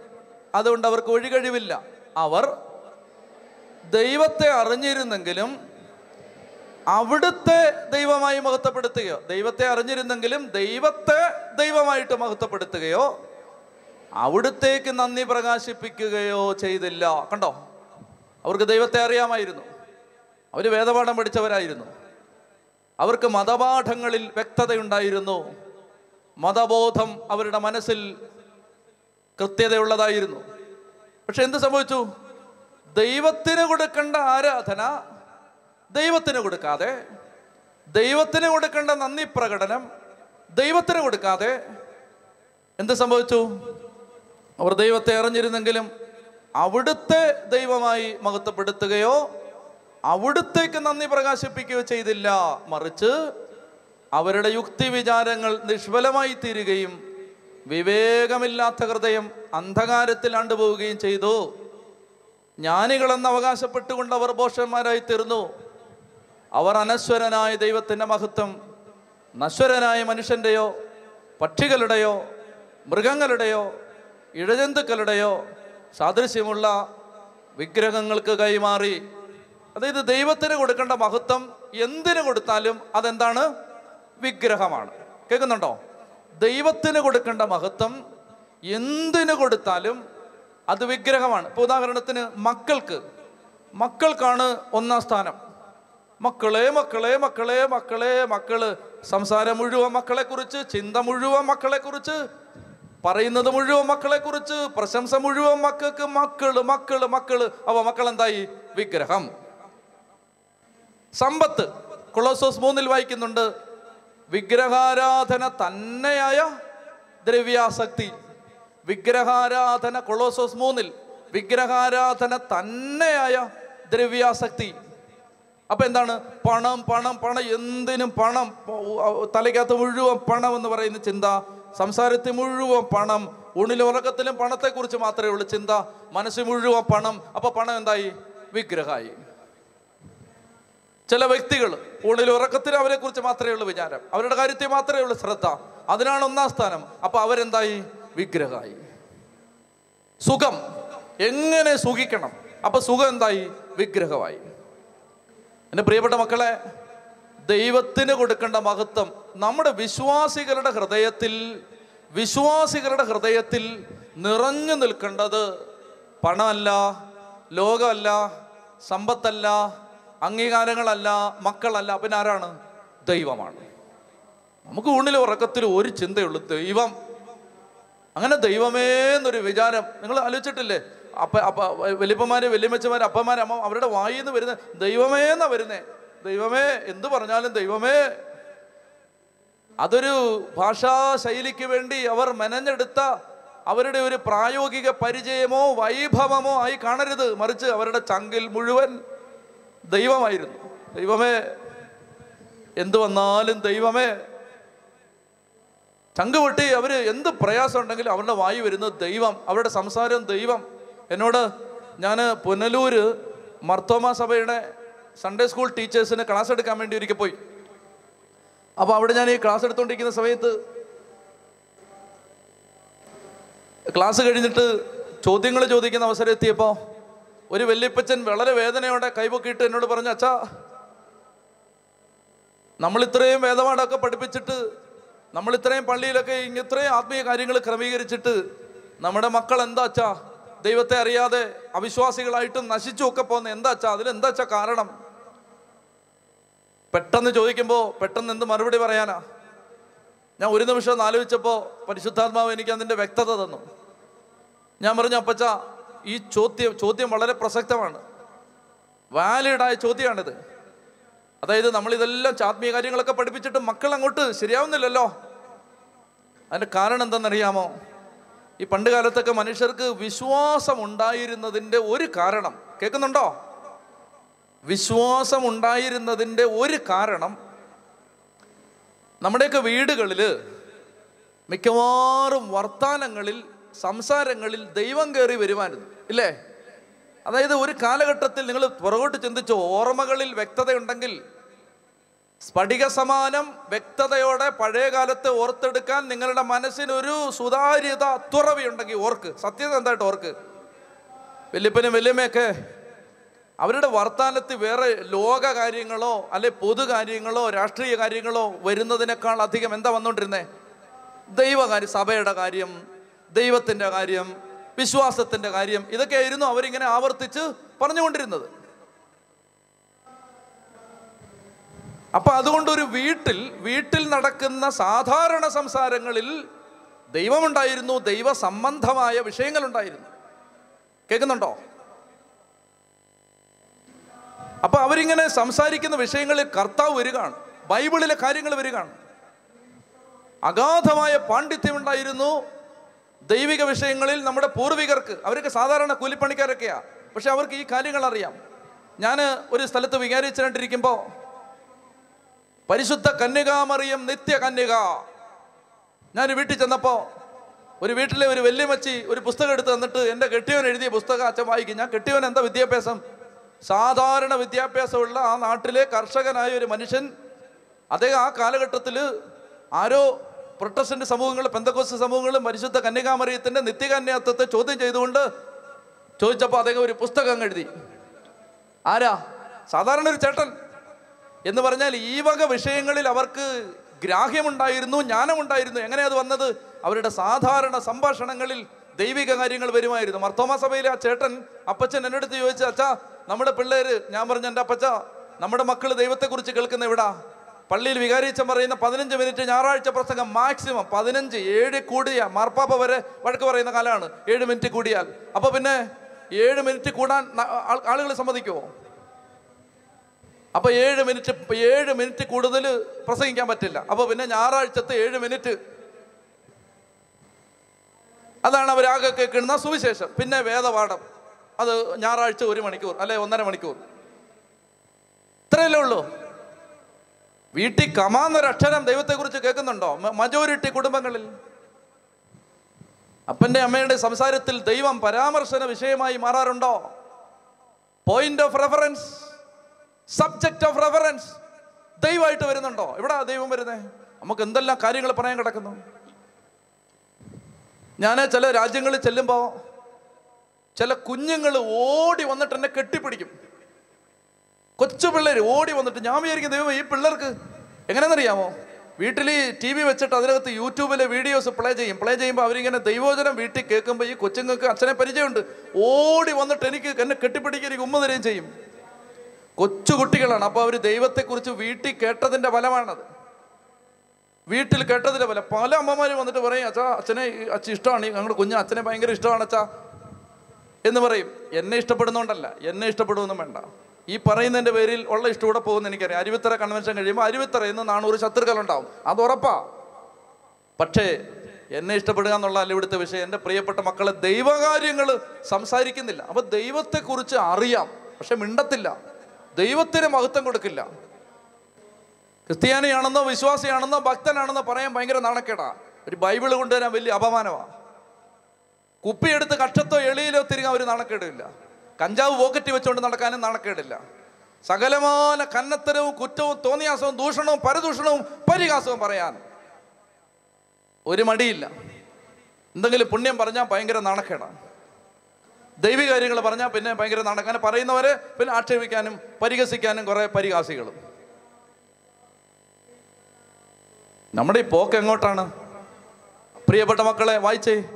അവർ ദൈവത്തെ അറിഞ്ഞിരുന്നെങ്കിലും വായിക്കേ.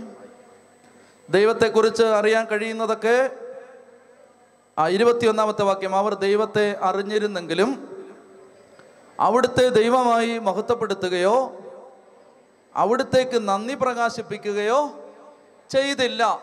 മറിച്ച് അവരുടെ യുക്തി വിചാരങ്ങൾ നിഷ്ഫലമായി തീരുകയും വിവേകരഹിതമായ ഹൃദയം അന്ധകാരത്തിൽ ആണ്ടുപോവുകയും ചെയ്തു. ജ്ഞാനികളെന്ന് അവകാശപ്പെട്ടുകൊണ്ടവർ പോഷന്മാരായി തീർന്നു. അവർ അനശ്വരനായ ദൈവത്തിന്റെ മഹത്വം. നശ്വരനായ മനുഷ്യന്റെയോ പക്ഷികളുടെയോ മൃഗങ്ങളുടെയോ ഇഴജന്തുക്കളുടെയോ സാദൃശ്യമുള്ള വിഗ്രഹങ്ങൾക്ക് കൈമാറി. അതുകൊണ്ട് എന്ത് സംഭവിച്ചു? അതുകൊണ്ട് ദൈവം അവരെ തങ്ങളുടെ ഭോഗാസക്തികളോടുകൂടെ ശരീരങ്ങൾ പരസ്പരം അപമാനിതമാക്കുന്നതിന് അശുദ്ധിക്ക് വിട്ടുകൊടുത്തു. കണ്ടോ ആ കണക്ഷൻ ദൈവത്തിന് കൊടുക്കേണ്ട ആരാധന ദൈവത്തിനൊരു ദേശം കൊടുക്കാതിരുന്നാൽ അവരുടെ പ്രിയപ്പെട്ടവരെ അശുദ്ധിക്ക് വിട്ടുകൊടുക്കുക എന്ന് പറഞ്ഞാൽ അവർ അശുദ്ധരായി തീരും പാപം ചെയ്യാൻ ഒരു മടിയില്ലാത്തവരായിട്ട് മാറും. ഇതാ പ്രശ്നം. കാര്യസാധ്യത്തിന് വേണ്ടി മാത്രം പള്ളി വന്നാൽ തിന്മ ചെയ്യാൻ ഒരു മടിയില്ലാത്തവരായിട്ട് മാറും. അതിനേക്കാൾ മടിയില്ലാത്തവരായിട്ട് മക്കൾ മാറും. അതിനേക്കാൾ മടിയില്ലാത്തവരായിട്ട് അവരുടെ മക്കൾ മാറും. ദൈവത്തെ സത്യസന്ധമായി ആരാധിക്കുന്ന മാതാപിതാക്കളുടെ മക്കൾക്ക് തിന്മയെ ഭയമായിരിക്കും. അവർക്ക് തിന്മ ചെയ്യാൻ ഇഷ്ടമില്ലായിരിക്കും. ഞാൻ കണ്ടിട്ടുള്ളത് കൊണ്ട് പറയുക. നൂറുകണക്കിന് ചെറുപ്പക്കാരെ എനിക്കറിയാം.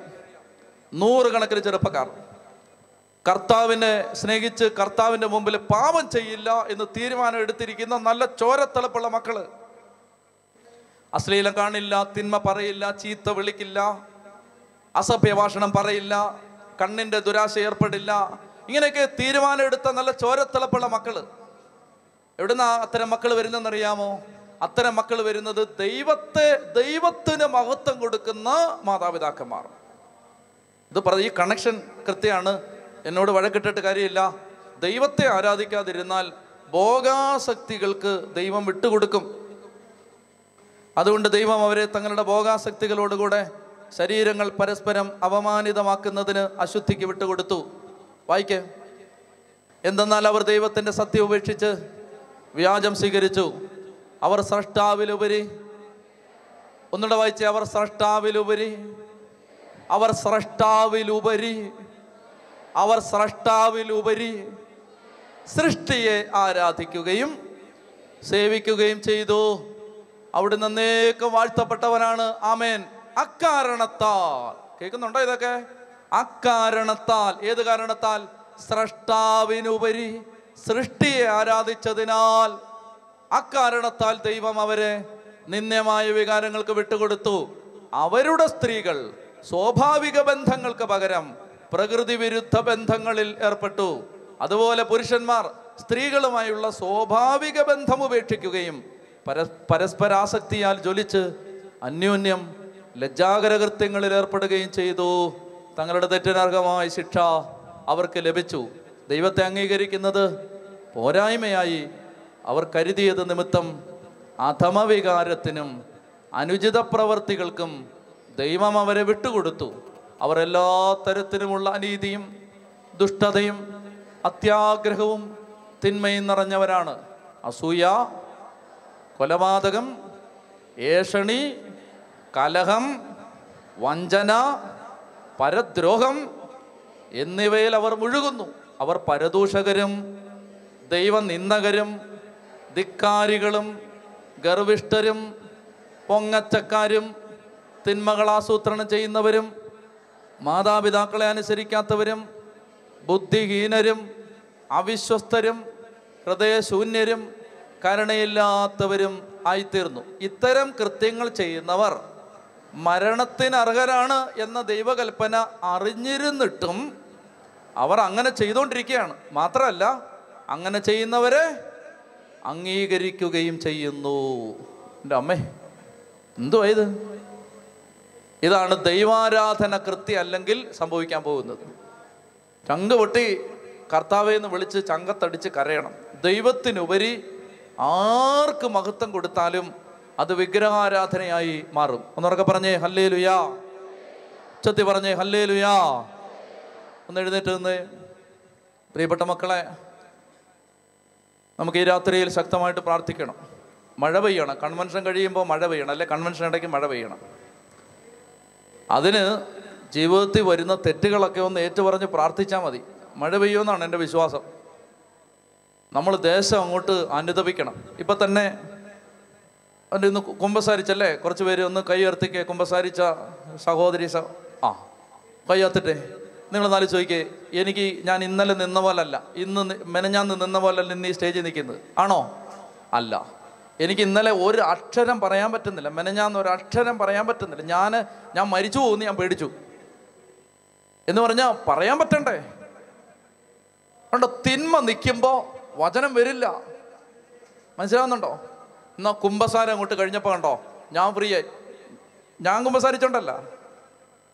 ആ അച്ഛൻ കുമ്പസാരിക്കാഞ്ഞ എന്റെ അച്ഛൻ കുംഭസാരിക്കാത്തതിന്റെ അല്ല അവിടെ ജനം അങ്ങോട്ട് ദേശം അങ്ങോട്ട് അനുദപിച്ച് പാവയേറ്റ് പറഞ്ഞപ്പോൾ കണ്ടോ ഈ ഈ എനിക്ക് ഇവിടെ നിൽക്കുമ്പോൾ എന്റെ അന്തരീക്ഷം മാറി. ഞാൻ ഇന്നലെ അങ്ങ് ഓടി രക്ഷപ്പെട്ടാലോ എന്ന് ഓർത്തു. വിചാരിച്ചോണ്ട് പറയാതെ അങ്ങ് മുങ്ങിയാലോ എന്നൊക്കെ ഞാൻ ഓർത്തു. ചെത്തി പറഞ്ഞേ ഹാലേ ലുയാ ഹാലേ ലുയാ അപ്പൊ അതുകൊണ്ട് ഇത് ഇനിയും അനുദപിക്കാനുണ്ട്. ഒത്തിരി മേഖലകൾ അനുദപിച്ച് അനുദപിച്ച് കണ്ടെത്തി അങ്ങോട്ട് ഏറ്റു പറഞ്ഞാൽ ഇടിച്ചു ഊത്തി മഴ പെയ്യും. വിശ്വസിക്കുന്നുണ്ടോ? അരുവിത്തുറക്കാർക്ക് കേരളത്തെ സഹായിക്കാൻ പറ്റും. വേറെ കേരളം മുഴുവൻ ഇപ്പം നടന്ന് അനുദവിക്കാൻ പറയാൻ പറ്റുമോ ഇല്ല. ഈശോ പറഞ്ഞ പോലെ ഈശോയെ അവർക്ക് വേണ്ടി ഞാൻ എന്നെ തന്നെ വിശുദ്ധീകരിക്കുന്നു. ഈശോ അങ്ങനെ പറഞ്ഞില്ലേ? ഭർത്താവേ ശിഷ്യന്മാരുടെ എല്ലാം കുറവുകളും പോരായ്മകളും യൂദാസിന്റെ ഒക്കെ പ്രശ്നം പത്രോസിന്റെ എടുത്തിയാട്ടം ഓരോരുത്തരുടെ അവിവേകം ഇതെല്ലാം മനസ്സിലാക്കിയിട്ട് കർത്താവ് യോഹന്നാൻ പതിനേഴിൽ ഈശോ പ്രാർത്ഥിക്കുകയാണ് കർത്താവെ ഞാൻ അവർക്ക് വേണ്ടി എന്നെ തന്നെ വിശുദ്ധീകരിക്കുകയാണ്. അവർക്ക് വേണ്ടി ഞാൻ എന്നെ തന്നെ ശുദ്ധീകരിക്കുകയാണ്. അപ്പം നമുക്ക് ഒരു പത്തേഴായിരം പേർക്ക് നമ്മളെ തന്നെ വിശുദ്ധീകരിച്ചാൽ ഞാനും നിങ്ങളും നമുക്ക് കേരളത്തിൽ മഴ പെയ്യും. നിങ്ങൾ വിശ്വസിക്കുന്നുണ്ടോ? ഏ? അതോ വസ്തു കച്ചവടം മാത്രം നടന്നാൽ മതിയോ? എ എൽ ടി എസ് മാത്രം കിട്ടിയാൽ മതിയോ? മഴ പെയ്യണ്ടേ? അപ്പം അതുകൊണ്ട് നമുക്ക് നമ്മളെ തന്നെ വിശുദ്ധീകരിക്കാം. ഇന്ന് കുമ്പസാരിക്കാത്തവർ എപ്പോഴേലും എവിടെങ്കിലും സമയം കണ്ടെത്തി നാളെ കുമ്പസാരിക്കണം കേട്ടോ? അങ്ങനെ ഞാ നാളെ ഞായറാഴ്ചയായിട്ട് നമ്മൾ കർത്താവിന്റെ സന്നിധിയിൽ ചങ്ക് വെട്ടി കരഞ്ഞാൽ എന്റെ വിശ്വാസം മഴ പെയ്യുമെന്നാണ്. ചെത്തി പറഞ്ഞേ ഹാലേ ലുയാ ഹാലേ ലുയാ രണ്ട് കരങ്ങൾ സ്വർഗത്തിലേക്ക് ഉയർത്തി ഒന്ന് സ്തുതിച്ച് പ്രാർത്ഥിക്കുന്നു. ഈശോയുടെ പരിശുദ്ധ നാമത്തെ ആരാധിക്കുന്നു. ശക്തമായിട്ട് സ്തുതിച്ച് ഹാലലുയ ഹാലലുയ ഹാലലുയ ഹാലലുയ. ശക്തിയോടെ ശക്തിയോടെ സ്തുതിച്ച് പ്രാർത്ഥിച്ച് യേശുവെ ആരാധന ആരാധന ആരാധന ആരാധന ആരാധന. സ്തുതിക്കുന്നു ആരാധിക്കുന്നു നന്ദി പറയും. അങ്ങേ മഹത്വപ്പെടുത്തുന്നു. അങ്ങേക്ക് മാത്രം ആരാധന. ഞങ്ങൾക്കല്ല കർത്താവേ ഞങ്ങൾക്കല്ല അങ്ങയുടെ കാരുണ്യത്തെയും വിശ്വസ്തതയും പ്രതി. അങ്ങയുടെ നാമം മാത്രം മഹത്വപ്പെടട്ടെ. അങ്ങയുടെ നാമം മാത്രം മഹത്വപ്പെടട്ടെ. സക്കറിയ നാല് ആറ് സൈന്യബലത്താലല്ല കരബലത്താലല്ല എന്റെ ആത്മാവിനാലാണ്. ഹൃദയം തുറന്ന് ഹാലേ ലുയ്യ ഹാലേ ലുയ്യ ഹാലേ ലുയ്യ ശക്തിയോടെ ശക്തിയോടെ ഹാലേ ലുയ്യ യേശുവെ ആരാധന ആരാധന ആരാധന ആരാധന. ഹാലേ ലുയ്യ ഹാലേ ലുയ്യ